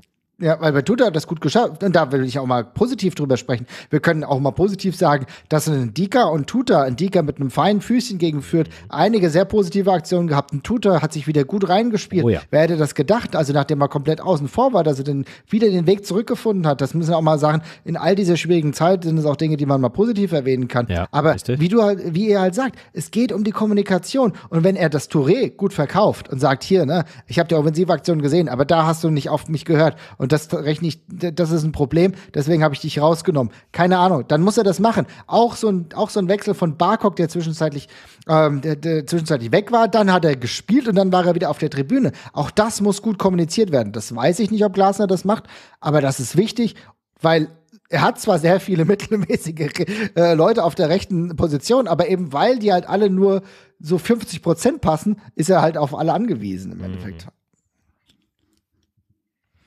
Meine ich. Alex Dennis, was ist eure Meinung? Also ich habe Touré auch nicht als äh, den schlechtesten Spieler auf dem Feld gesehen, der abgewatscht werden muss und schleunigst wieder ausgewechselt werden muss. Ähm, ich hatte sogar tatsächlich gedacht, das ist verletzungsbedingt, weil als er raus ist, ähm, hat er ein bisschen gehinkt. Ähm, aber gut, ne, kann auch einfach komisch gelaufen sein, weil er K.O. war. Ähm, ja, also eigentlich hat er mir von den ganzen rechten Optionen in den letzten Tagen äh, echt auch noch am besten gefallen.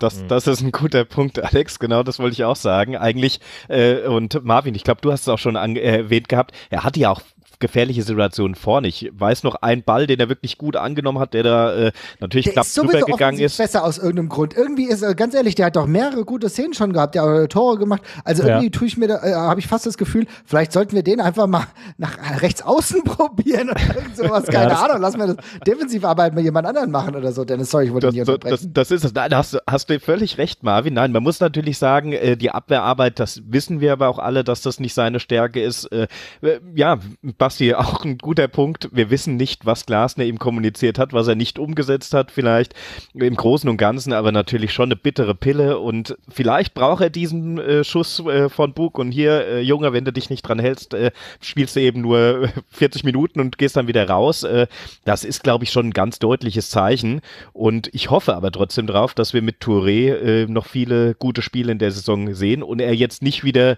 für auf Ewigkeiten rausrotiert, weil ich glaube, es ist einer unserer stärksten Rechtsverteidiger, muss ich wirklich, also rechtes, Ehrlich rechtes gesagt, äh, das für mich- offensivmäßig. Für mich war das tatsächlich auch, also wenn wir jetzt bei der Fünferkette bleiben und müssen wir wahrscheinlich, wenn Lenz noch lange verletzt ist, weil wir keinen Linksverteidiger haben, Korrekt. dann ist tatsächlich für mich Touré immer noch die äh, Wahl Nummer eins auf rechts. Und deswegen würde ich mir auch wünschen, dass das, was Marvin gesagt hat, dass das stattgefunden hat, eine Komplikation, dass Touré sich da auch anpasst, weil am Ende können wir auch nicht immer alles nur auf Trainer und Verantwortliche schieben. Die Spieler, und gerade wie Touré, der ist jetzt lang genug hier. Wir können jetzt dem nicht auch immer wieder neue Zeit geben und sagen, ja, ja, hast du mal gut gespielt, dann spielst nochmal. Nee, also Touré ist einer der Spieler, so wie So das gemacht hat, der jetzt liefern muss. Also wenn der es diese Saison nicht packt, dann muss man vielleicht sogar dann sagen, dann müssen sich die Wege im Sommer trennen, weil dann hast du es hier nicht konstant hinbekommen und dann ist es auch nichts mehr. Dann mach bitte den Weg für jemanden anders frei. Also Hm. Touré ist jemand, der sehr, sehr viele Spiele schon für uns gemacht hat und der jetzt langsam auch selber eine Sicherheit erlangen muss, dass er eben nicht mehr diese leichtfüßigen Dinger drin hat, sondern er muss jetzt annehmen, dass er ein Profifußballer ist und das zumindest, wenn er verletzungsfrei bleibt, über einen konstanten Zeitraum zeigt, weil da muss man auch den Spieler ein bisschen in die Pflicht nehmen, weil dem seine Leistungen sind halt zu schwanken. Der deutet immer genau das an, warum Dennis und ich wollen, dass er spielt Hm. Zeigt aber dann natürlich auch teilweise Szenen, wo man sagt, okay, du musst, man muss sich gleich wieder rausnehmen. So, also das ist dann halt irgendwas und wenn du halt über einen längeren Zeitraum merkst, es klappt nicht, dann musst du halt, glaube ich, sagen, gut, dann müssen wir das Gehalt und deinen Platz im Kader freimachen, für einen jungen Rechtsverteidiger, der vielleicht irgendwann mal dafür sorgt, dass die Eintracht einen fucking Rechtsverteidiger hat, der funktioniert, Alter. Ja. Alles im Winter, wenn das irgendwie möglich ist. Ne?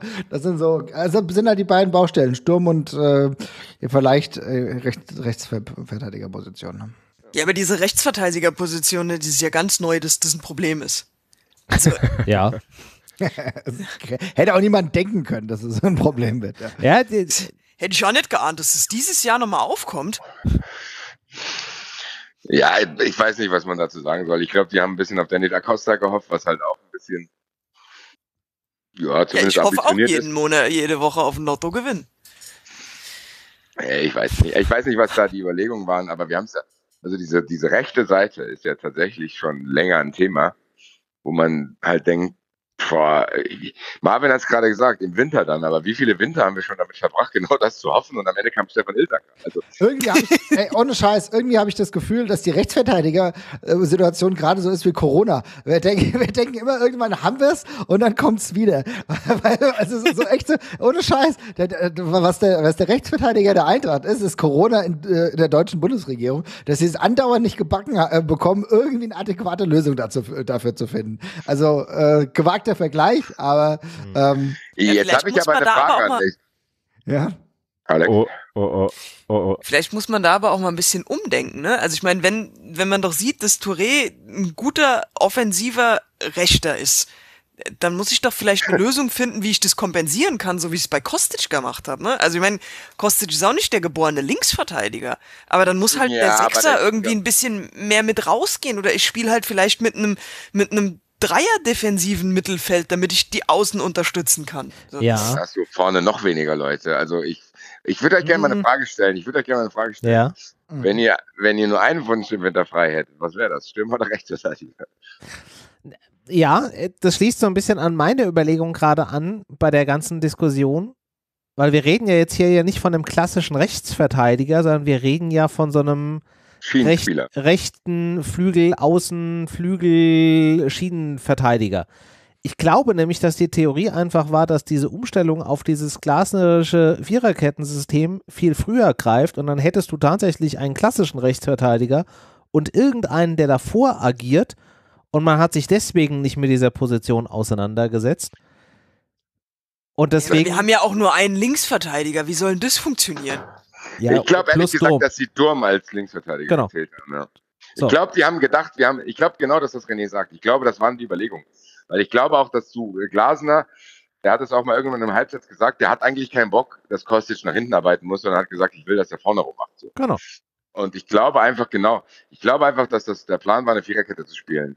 Und die Eintracht hat vielleicht auch ein bisschen Pech gehabt, dass das nicht die ganze Zeit funktioniert hat und vergisst jetzt, dass das in der Fünferkette auch nicht funktioniert. Ja. Also es ist ja, es ist ja nicht so, eigentlich kannst du ja eine Viererkette spielen. Weil am Ende hat es ja gezeigt, die Fünferkette ist jetzt auch nicht dabei seit letzter Schluss. Und die Probleme, die wir hatten mit der Viererkette, die sind mit der Fünferkette auch nicht weggegangen. Also am Ende ist es so, wenn du den Kader so geplant hast, und dafür sprechen ja auch übrigens die Verpflichtungen von Heuge und Lindström, Korrekt. dass du eigentlich den Plan hattest, 4-4-2 zu spielen mit zwei Außen und zwei Stürmern und zwei Sechsern. So eine flache Vier und fertig. So. Genau. Das machst du jetzt nicht, aus welchen Gründen auch immer. Wahrscheinlich, weil die Mannschaft trotzdem unbedingt diese Fünferkette braucht. Ich habe keine Ahnung. Da ist ja Hütte auch schon dran verzweifelt. Aber ich glaube ehrlich gesagt, dass das die Antwort darauf ist. Dass man gedacht hat, dass Da Costa und Touré solide Rechtsverteidiger sind, nur Rechtsverteidiger. Und dass Lenz und Durm die linke Seite machen und dass genau das die Planung ist. Und jetzt stehst du da. Lenz fällt aus. Und rechts hast du halt wieder diese Problematik, dass diese Spieler eben kein Äquivalent zu Kostic sind. Und äh, ja, Ja, aber dann hättest du ja jetzt immer noch Durm, der auf links spielen könnte und du hättest noch Chandler, Touré, Da Costa als Rechtsverteidiger. Korrekt. Ja, aber ich habe ja gesagt, scheinbar ist irgendwas äh, passiert, dass diese Umstellung stattgefunden hat. Die, die hat ja teilweise sogar in Spielen stattgefunden. Und diese Fünferkette ist ja jetzt quasi in den letzten Spielen die gewesen. Vielleicht, ist- das ist, das, das Lustige ist ja, vielleicht bedingt sich das gar nicht, aber die denken das jetzt. Vielleicht wurde auf Fünferkette umgestellt, jetzt haben die drei Spiele nicht verloren und denken, ja, ja, das wird safe an der Fünferkette liegen. Vielleicht liegt es gar nicht an der Fünferkette. Aber die denken das jetzt einfach, keine Ahnung. Also das ist ja, das weißt du ja nicht. Ja. Schwierig. Ja, ich, ich glaube, ich glaub, da ist vielleicht auch ein bisschen die Angst vom Experimentieren jetzt, ne? Ja, Weil Ja, du hast die- nichts, wo du, wo du hast keine Zeit, äh, großartig was zu trainieren und dann sagst du besser, ja, wird schon, wird schon. Augen zu Ich und will, durch. ich will aber. Ich, ich will aber unbedingt auch noch auf Bastis Frage antworten. Ja, dann- Stürmer eindeutig. Und zwar einen, der knipst und äh, wirklich vorne eiskalt ist. Äh, das brauchen wir, das wollen wir und dann können wir es auch mit dem System so schaffen und mit den Spielern und den Leuten, die wir so zur Verfügung haben. Weil, ihr habt schon richtig angesprochen, wir haben ja zehn äh, Rechtsverteidiger so ungefähr und äh, ja, mit einem Touré, der dann vorne und vielleicht ein bisschen zur Seite geschoben und was weiß ich, keine Ahnung, da geht schon was nach vorne. Im Sturm sehe ich aber wirklich den größten Handlungsbedarf. Du hast gefragt, Basti, ne, nach ob äh, Rechtsverteidiger. René hat gefragt. René hat gefragt, genau. Nee, ba äh, Basti, Basti hat Ah, in der oder Tat René. gefragt. Alles gut. Brené oder, oh, Bre Brené oder Rasti? Ich würde mich der, der Stürmerthematik von Dennis äh, anschließen. Also, wenn, wenn ich mich für eins entscheiden muss, dann nehme ich bitte auch den Stürmer, weil da sehe ich gerade absolut die größte Lücke. Da ist einfach keiner, der mit den Dingern was macht, mit den Bällen. Sehe ich genauso. Ich bin, stimme ich dir vollkommen zu. Ganz ehrlich, ja, wir, haben, wir reagieren ja schon die letzten Jahre immer wieder mit dieser Misere auf der rechten Seite. Aber im Sturm ist es halt, du bürdest jedem total viel auf. Ein Lammer, das würde es mega gut tun, wenn da jemand vor ihm wäre, wo er wüsste, er kann sich noch entwickeln, er kann reinkommen und er hat weniger Druck. Ja. Ich glaube, das würde ihm helfen und es wäre halt immens wichtig. Ich weiß, die finanzielle Situation ist angespannt, aber ehrlich gesagt, du musst im Sturm einfach jemanden holen. So, und jetzt stelle ich euch noch eine schwierige Frage. Level 2 kommt jetzt, meine lieben Freunde. Ja. Würdet ihr für diesen Stürmer Kamada verkaufen? Uff. Uff. Schwierig. Es kommt ein bisschen drauf an, was du, was du jetzt im Petto hast, ne? Also, keine Ahnung, wenn du jetzt, wenn du die Frage ein bisschen anders formulierst und sagst, äh, würdest du Kamada gegen Silver tauschen? Ja.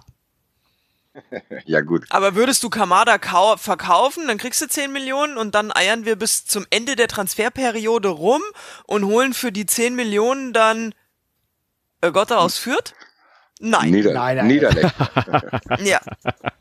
Das ist eine gute Frage. Also, also, also äh, Dennis, ja, was ich glaube, ich würde schon machen. Ja, ich glaube, ich würde schon machen, weil natürlich ist es so, dass Kamada immer wieder Potenzial andeutet und er war sehr wichtig jetzt gegen Fürth, wo du gesehen hast, er war derjenige, der dementsprechend das rausgearbeitet hat zum 1-0 für Rode. Das haben wir gesehen. Also Kamada ist immer wieder, hat seine Momente, ist aber momentan wesentlich inkonstanter als in den letzten Jahren. Und ich, wenn wir 25 Millionen bekämen, und das war ja so ein bisschen das, was immer so gerüchtet wurde, würde ich es, glaube ich, machen. Aber wirklich nur mit, dem, mit dem klaren Credo, für das Geld wird potenziell, also zumindest für die Hälfte wird dann auch jemand geholt, der uns gleich, möglichst gleich helfen kann, was schwierig genug ist. Ja, aber dass, ist du das. was in, dass du was in Aussicht hast, ne? Und nicht am Ende stehst du ohne Stürmer und ohne Kamada da.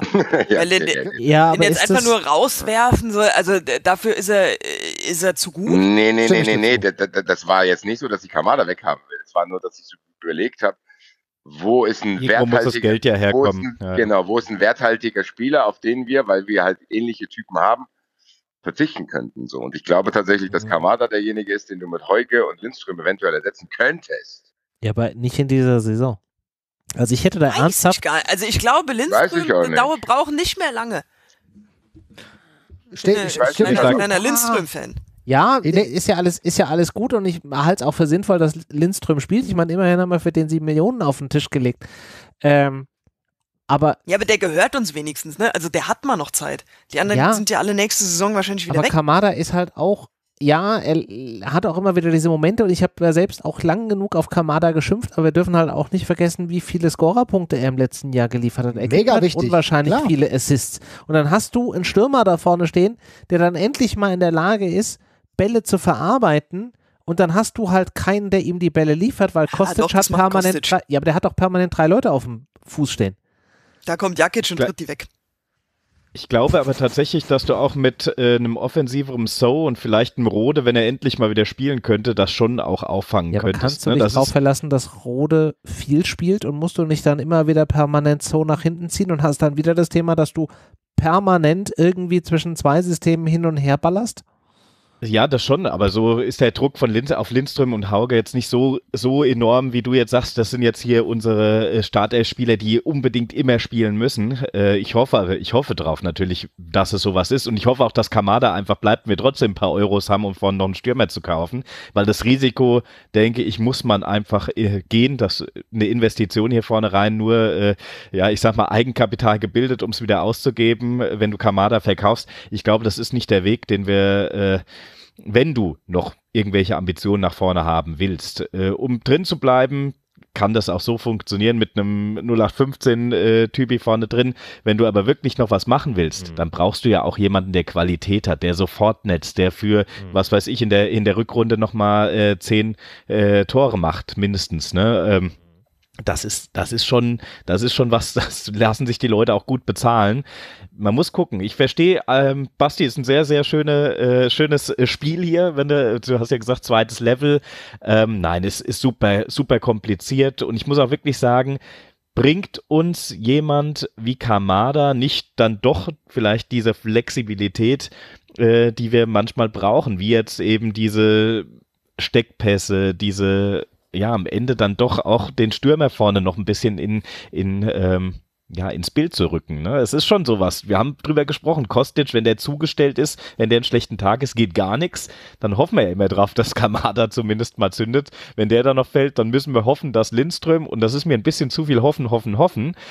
Eigentlich muss es im Endeffekt äh, mit einigermaßen Qualität vorne noch besetzt werden.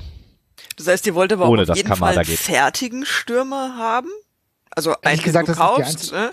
Ja, also, also was ja, ist denn, was ist denn mit so Optionen wie was jetzt mal ge, ge, gerüchtet wurde, Mukoko von Dortmund, ne? Der Junge braucht Nein, Spielpraxis. Der Mukoko, der geht doch nicht zur Eintracht. Also ich glaube, der, ich glaube, das kriegen wir gar nicht hin. Also das für ein, für ein für halbes eine Jahr. für ein halbes Jahr? Nee, ehrlich gesagt. Ja, aber dann, dann bist du ja wieder nicht schlauer. Also ich finde nee. auch, was die Idealsituation, wenn du Moani holst, den du im Sommer sowieso wahrscheinlich holen willst, und wenn du den einfach vorher holst und den ein paar bisschen Geld gibst. Äh, ja. Zumindest, und Marvin hat das Wichtiges gesagt, es geht ja nicht darum, dass wir jetzt einen brauchen, auf die, wo wir sagen, okay, wir nehmen die Last von Lammers weg und geben sie komplett jemand anders, sondern dass sich das einfach verteilt.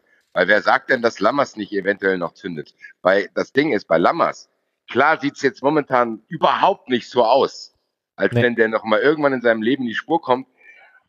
Aber eigentlich ist genau das, was uns die Hoffnung machen sollte. Weil ja. wenn, wenn er so gespielt hätte, sein ganzes Leben, wie er da spielt, dann wäre der nicht mal in die Nähe von einem Fußballplatz gekommen. Das heißt, am Ende, am Ende muss es ja andere Gründe haben, die eventuell sich auch im mentalen Bereich abspielen oder in der Spielpraxis sind oder, oder, oder. Ja. Also ich, und ganz ehrlich, das Tor, was Lammers in Wolfsburg gemacht hat, überragend. Das war schon geil. Sagt, schlapp, Mob, Alter. Und so, also am Ende ist es so, dass ich eigentlich im Sturm nur die äh, Verantwortung gerne auf eine weitere Schulter verteilen wollen würde, die aber natürlich dann auch, wie du es bei Lindström gesagt hast, Alex, uns gehört. Also ich habe keinen Bock jetzt für irgendwie für Dortmund dafür zu sorgen, dass Mokoko sich hier in Form schießt und dann haut er wieder ab. Mhm. Was ist denn mit Ache? Geht da was? Äh, also ich glaube tatsächlich. Schwierig. Ich will den Stab nicht über ihn brechen, aber ich bin mir nicht sicher, ob das ein Bundesligaspieler ist. Das tut mir leid ich würde ganz ehrlich sagen, ich glaube, es sehr wichtig ist, dass man im Winter mal eine Option findet, um ihn öfter spielen zu lassen. Ich glaube, eine Ausleihe in die zweite Liga äh, könnte wichtig sein, auch damit er wieder Spielpraxis bekommt. Hat ja. einen schwierigen Start. Ja, aber man hat sich ja verletzt, ne? explizit ne? dagegen entschieden, weil bei ihm gesehen hat, dass er am nächsten dran ist. Ja, aber du hast ja, aber dann, so nein, aber warte lass mich mal kurz ausreden. Die Sache ist ja doch auch, du hast ihn dagegen, du hast dich dagegen entschieden, aber du hast ihm gleichzeitig die Freigabe gegeben, nach Japan zu gehen, zur, uh, zur Olympia, wo er einen Teil der Vorbereitung verpasst hat. Also so wichtig ja. war das dann nicht. Du hast ihm die Möglichkeit gegeben, bei Olympia da zu sein. Das hat er auch, da war er auch präsent. Das fand ich auch gut. Er hat gute Spiele gemacht. Dann wurde, war er aber auch zwischenzeitlich verletzt, ist schwieriger reingekommen, wurde dann aber auch nicht für, ähm, dementsprechend auch nicht für Europa nominiert. Also das heißt, äh, du kannst es schon einigermaßen einschätzen. Die Frage ist halt jetzt, können wir jemanden holen? Wenn wir jemanden holen, würde ich ihm auch die Möglichkeit geben, noch mal ein halbes Jahr ähm, zu tanken, äh, Erfolge zu tanken, Tore zu machen, weil ich glaube schon, dass da Perspektive da ist, aber ich glaube, momentan hat er Schwierigkeiten, weil auch der Druck sehr groß ist und du tust momentan keinem der Stürmer, die nicht total viel gewachsen sind, einen Vorteil oder einen Gefallen, dass du sie reinbringst. Ich glaube, jeder, also jeder hat gerade genug Probleme. Ein Acher hat Probleme, weil dass er wieder rankommt. Ein Lammers, wenn der, wenn der weiß, okay, da vorne ist jemand, das funktioniert, und dann kann ich mich einwechseln und dann, dann, dann kommt der auch, glaube ich, wieder. Ja. Aber diese Situation ist gerade schwierig und sobald diese Situation nicht gelöst würde, tut man Ache, glaube ich, auch keinen Gefallen. Hm. Ist das Potenzial da? Andererseits muss man auch sagen, das braucht wirklich noch eine Weile, glaube ich. Hm. Ja, schwierig. Ich wüsste es auch nicht. Basti, hast du noch eine Stufe 3? Äh, nee, ich will euch nicht überfordern. Machen wir nächste Woche. Machen wir nächste Woche. Gut. Nee, tatsächlich sind das halt die einzigen Gedankenspiele, die ich äh, bezüglich des, dessen habe. Aber am Ende ist jetzt auch erstmal Ruhe, Länderspielpause. Wir müssen jetzt mal gucken, dass alle wieder ein bisschen durchatmen, glaube ich. Und äh, für die restlichen Spieler ist es eh keine Option. Also es ist tatsächlich jetzt so, dass man denken muss, okay, welche Optionen sind da? Manche sehe ich als keine. Lammers ist für mich noch nicht gegessen, die Geschichte, muss ich sagen. Ja. Aber Ache für mich, ehrlich gesagt, schon. Also da habe ich von Anfang an nicht viel gesehen. Lass mich aber natürlich auch da gerne eines Besseren belehren. Wir haben noch eine Hörerfrage letzte Woche geschickt bekommen vom Steffen die passt so ein bisschen in dieses Thema mit äh, mal reinwerfen, Chancen geben und eventuell Transfers. Er hat uns nämlich gefragt, ähm, wie wir zu dem Thema Blanco stehen, ob wir den eventuell mal reinwerfen würden, ähm, weil er könnte es halt auch nicht ertragen, wenn wir am Ende den im Winter ziehen lassen müssen, weil es ja schon eigentlich ein gutes Talent ist. Jetzt ist ja, er vielleicht. Woher, woher, woher wissen wir das denn? Ja, das wäre jetzt genau meine Frage dazu gewesen. Bislang haben wir, glaube ich, wenig Beleg, weil er halt auch noch nichts wirklich gezeigt hat, außer mal irgendwo in einem Testspiel. Wir wissen nur vom Papier her, dass das ein großes Talent sein soll. So. Also ich muss mich da ausklinken aus der Diskussion, weil ich habe viel zu wenig Informationen, um da eine fundierte Meinung abzugeben. Mhm. Muss alle sagen, also ich habe ja auch zwei Spiele mir angeguckt und da, bei dem einen war das in Ordnung, da, bei dem da hat er dann auch getroffen.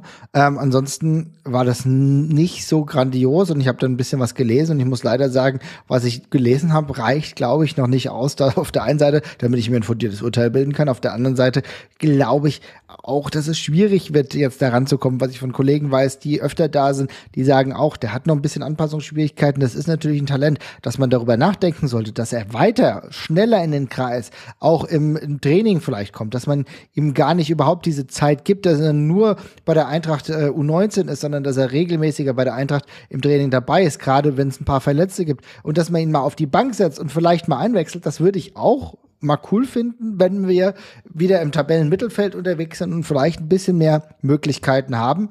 Ich warne nur davor, auch hier bei dieser Personalie zu viel auf jemanden zu setzen, bei dem wir nicht genau wissen, was sein Leistungsvermögen ist. Ich muss ähm, ehrlich gesagt sagen, das war von der Eintracht auch ein Fehler, ganz kurz, sorry. Ja. Ähm, mhm. Als diese drei Spanier da wo verpflichtet wurden, also es war unter anderem er, er war das davon und dann wurden noch zwei weitere verpflichtet. Mhm. Dass das so offensiv kommuniziert wurde und dass, glaube ich, Holzer sich sogar auch dann geäußert hat, wie froh man ist, dass man so ein Talent bekommen hat, bla bla. Damit hat man dem Spiel auch keinen Gefallen getan, weil genau diese Diskussionen nur deswegen aufkommen hätte die Eintracht für die U19 irgendeinen 17-Jährigen geholt, dann hätten wir im Leben nicht über den nachgedacht. So. Also, das ist auch wieder wahr, ja. Es ist einfach so, und vielleicht bin ich dazu naiv, aber ich glaube, wenn er eine ernsthafte Option wäre, hm. kann ich mir nicht vorstellen, dass die den extra draußen lassen oder den vergessen, sondern dass es da Gründe geben wird. Also ich hoffe es sehr. Sollte es nicht so sein, entschuldige ich mich, aber kann mir nicht vorstellen, dass Glasner da steht und sagt, boah, ist der geil, aber nee, den das nicht spiele, damit die Leute sich aufregen. Und ich kriege das ja bei Fußball 2000 auch in den Kommentaren mit. Es ist immer so, wenn es nicht läuft, wird nach denen geschrien, die nicht da sind. Und dann ja. lese ich immer Acho und Blanco, Acho und Blanco, Acho und Blanco. Alleine eine Garantie, dass das besser ist, ist es halt auch nicht da. Und wenn Leute, die ihr Geld damit verdienen, Fußballmannschaften zu trainieren, denken, das reicht noch nicht. Und Marvin hat ja gesagt, dass das nicht nur der Trainer wahrscheinlich so sieht, sondern auch viele Leute, die oft beim Training sind, mhm. dann muss ich das leider akzeptieren, auch wenn ich natürlich so geil finden würde, wenn der nächste Woche plötzlich auf der rechten Seite rumwirbelt und einen Gegner nach dem anderen aussteigen lässt. Also ich bin der Letzte, der sich dagegen wehrt. Ich muss leider aber sagen, was das betrifft, kann ich nichts sagen, weil ich habe keine Ahnung, ob der überhaupt Bundesliga-Härte hat, ob der, weil wir sehen es bei Lindström. So, Lindström muss jetzt auch langsam merken, okay, das ist Bundesliga. Wer weiß, wie es bei ihm ist. Also ich habe keine Ahnung. Es ist jetzt auch nicht so, dass ich einen großen Drang habe, noch einen kleinen Spieler haben zu wollen, sondern ich will einen haben, der sich mal irgendwie da vorne durchsetzt. Ja, ich denke, man kann festhalten, also auf der einen Seite haben wir die Spiele zu selten gesehen im Jugendbereich. Wie gesagt, ich war einmal, Ja. äh, habe ich es mir genauer angeguckt und einmal habe ich es mit, mitverfolgt und da war er nicht mehr so gut. Und wie gesagt, ansonsten von den Kollegen, Kolleginnen, die vor Ort waren, habe ich eher sehr gemischtes Feedback gehabt. Natürlich mit Potenzial, natürlich, dass die Möglichkeit da ist, aber nicht, dass du ihn jetzt sofort reinsetzen kannst. Und ich glaube, da ähm, muss man auch ein bisschen der Eintracht vertrauen, ähm, die ja jetzt auch wieder ein bisschen in der Umstrukturierung ist im, im Jugendbereich. Ich würde erstmal sagen, nehm ihn ran, nehm ihn ran, nehm ihn ins Training. Aber setzt, liebe Leute, setzt eure Hoffnung nicht auf den Blanko. Das wird ihm auch nicht gerecht und tut ihm Nee. nicht gut, weil wenn er dann reinkommt und er macht schlechte Spiele, das ist das Umfeld. Wir haben ein anderes Umfeld. Wir müssen irgendwann vielleicht mal zu einem Umfeld wie Freiburg, wo dann ein Spieler reinkommt und zwei schlechte Spiele macht, aber dann trotzdem beim dritten Mal ein Streich sagt, nee, jetzt bringe ich dich und dieses Aufbauen, das können wir, glaube ich, noch nicht. Da müssen wir hin. Und dann würde es auch einem Blanco gut tun. Aber da müssen wir auch in eine Situation kommen, äh, die, ähm, die uns ein wenig, ähm, wie soll ich sagen, in, ko- keine Probleme mehr bringt. Noch ganz kurz dazu. Der Ruven, treuer Hörer unserer Sendung, hat äh, mir einen Link geschickt von einem Podcast, den er selber gemacht hat. Und zwar ist es äh, der Ruf der Hyäne. Und der hat sich mit ähm, einer Sportpsychologin äh, getroffen und die reden darüber, wie momentan auch Okay. ähm, also, also wie Sportpsychologie funktioniert, welche Fallstricke es geben kann und die vielleicht auch so ein bisschen die Probleme erklären, die die Frankfurter Eintracht gerade auch so hat, weil vieles was wir auf dem Feld sehen, spielt sich aber, glaube ich, im Kopf ab. Und ich glaube, ganz, ganz viel davon, was momentan noch nicht rund läuft, gerade bei gestandenen Spielern, wie im Hinteregger auch beispielsweise, wie vielen anderen auch, äh, ein Kamada, der nicht, noch nicht 100 bei 100 Prozent ist, das ist für mein Dafürhalten begründet in der Vorsaison mit Hütter, der seinen Abgang im Höhepunkt der Eintracht bekannt gegeben hat. Das hat den Knick gegeben und da müssen die jetzt langsam wieder rauskommen. Und ich glaube, am besten kommen sie raus, wenn's, wenn sie sich zusammenfinden, wenn die zusammen kleine Erfolge feiern und dann gemeinsam vielleicht auch endlich wieder mit den Fans Kleinigkeiten bejubeln und sich bis zur Winterpause retten. Das kann helfen und vielleicht ansonsten das Inter Interview, was er mit der Sportpsychologin geführt hat. Das wollte ich noch sagen. Ist auf jeden Fall ein spannendes Thema. Ähm, Genau. Ich muss dann mich auch gleich ver verabschieden hier, würde ich sagen. Ähm, ähnlich, äh, mein Arm fällt auch gleich ab. Und, äh, ja, alles gut. Ähm, ich glaube, Ausblick können wir uns jetzt auch für diese Woche erstmal sparen. Jetzt stehen ja erstmal äh, Länderspiele äh, auf dem äh, Programm. Von daher werden wir uns nächste Woche dann ein bisschen mit dem Ausblick auf äh, Freiburg beschäftigen, was ja der nächste Gegner in äh, zwei Wochen dann ist.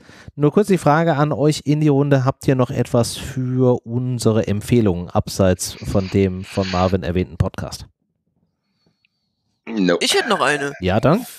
Ich äh, empfehle den äh, SC Kickers Merfelden für alle Hörerinnen da draußen, die vielleicht äh, Fußball spielen oder Bock haben, Fußball zu spielen. Wir suchen Geil. händeringend äh, neue Spielerinnen, weil äh, wir vielleicht auch irgendwann mal aus der Gruppenliga in äh, andere Sphären vorstoßen wollen. Also, wenn ihr ein bisschen kicken könnt und Bock habt, dann äh, schreibt. Oder Ah. kommt vorbei. An äh, wen schreiben? An dich oder gibst du mir gleich noch eine Adresse, die ich hier reinhängen kann? Nö, können gerne an mich schreiben. Ähm, ich gebe dir aber auch noch unsere, äh, unsere URL von der Webseite. Da stehen auch die Handynummern der Trainer drauf ähm, und die Trainingszeiten. Und da sind auch äh, Bilder von zwei großartigen Mannschaften, bei denen man mitwirken kann. Ja, deswegen. Sehr schön. Also wer Bock hat äh, zu kicken, call genau. Alex. wer keinen Bock hat, erzählt's einfach anderen Leuten, die Bock haben. Wir, wir brauchen. Ist auch eine gute Variante. Genau, also entweder selber kicken oder weiter erzählen. Hervorragend. Ja, dann würde ich sagen, haben wir es für diese Woche geschafft. Dann äh, kann Basti gleich auch seinen Arm entspannen. Vielen Dank, dass ihr heute dabei wart. Das Ähm, klingt sehr doppeldeutig. Ja. Aber nein, ich weiß, was ihr so geplant ist heute Abend. mit dieser Doppeldeutigkeit entlassen wir euch in äh, den Tag, die Nacht, den Morgen, was auch immer, wann ihr diesen Podcast hört. Vielen Dank, dass ihr dabei wart und äh, dann melden wir uns in der nächsten Woche wieder mit einem Ausblick auf Freiburg. Bis dahin, macht's gut. Ciao. Tschö.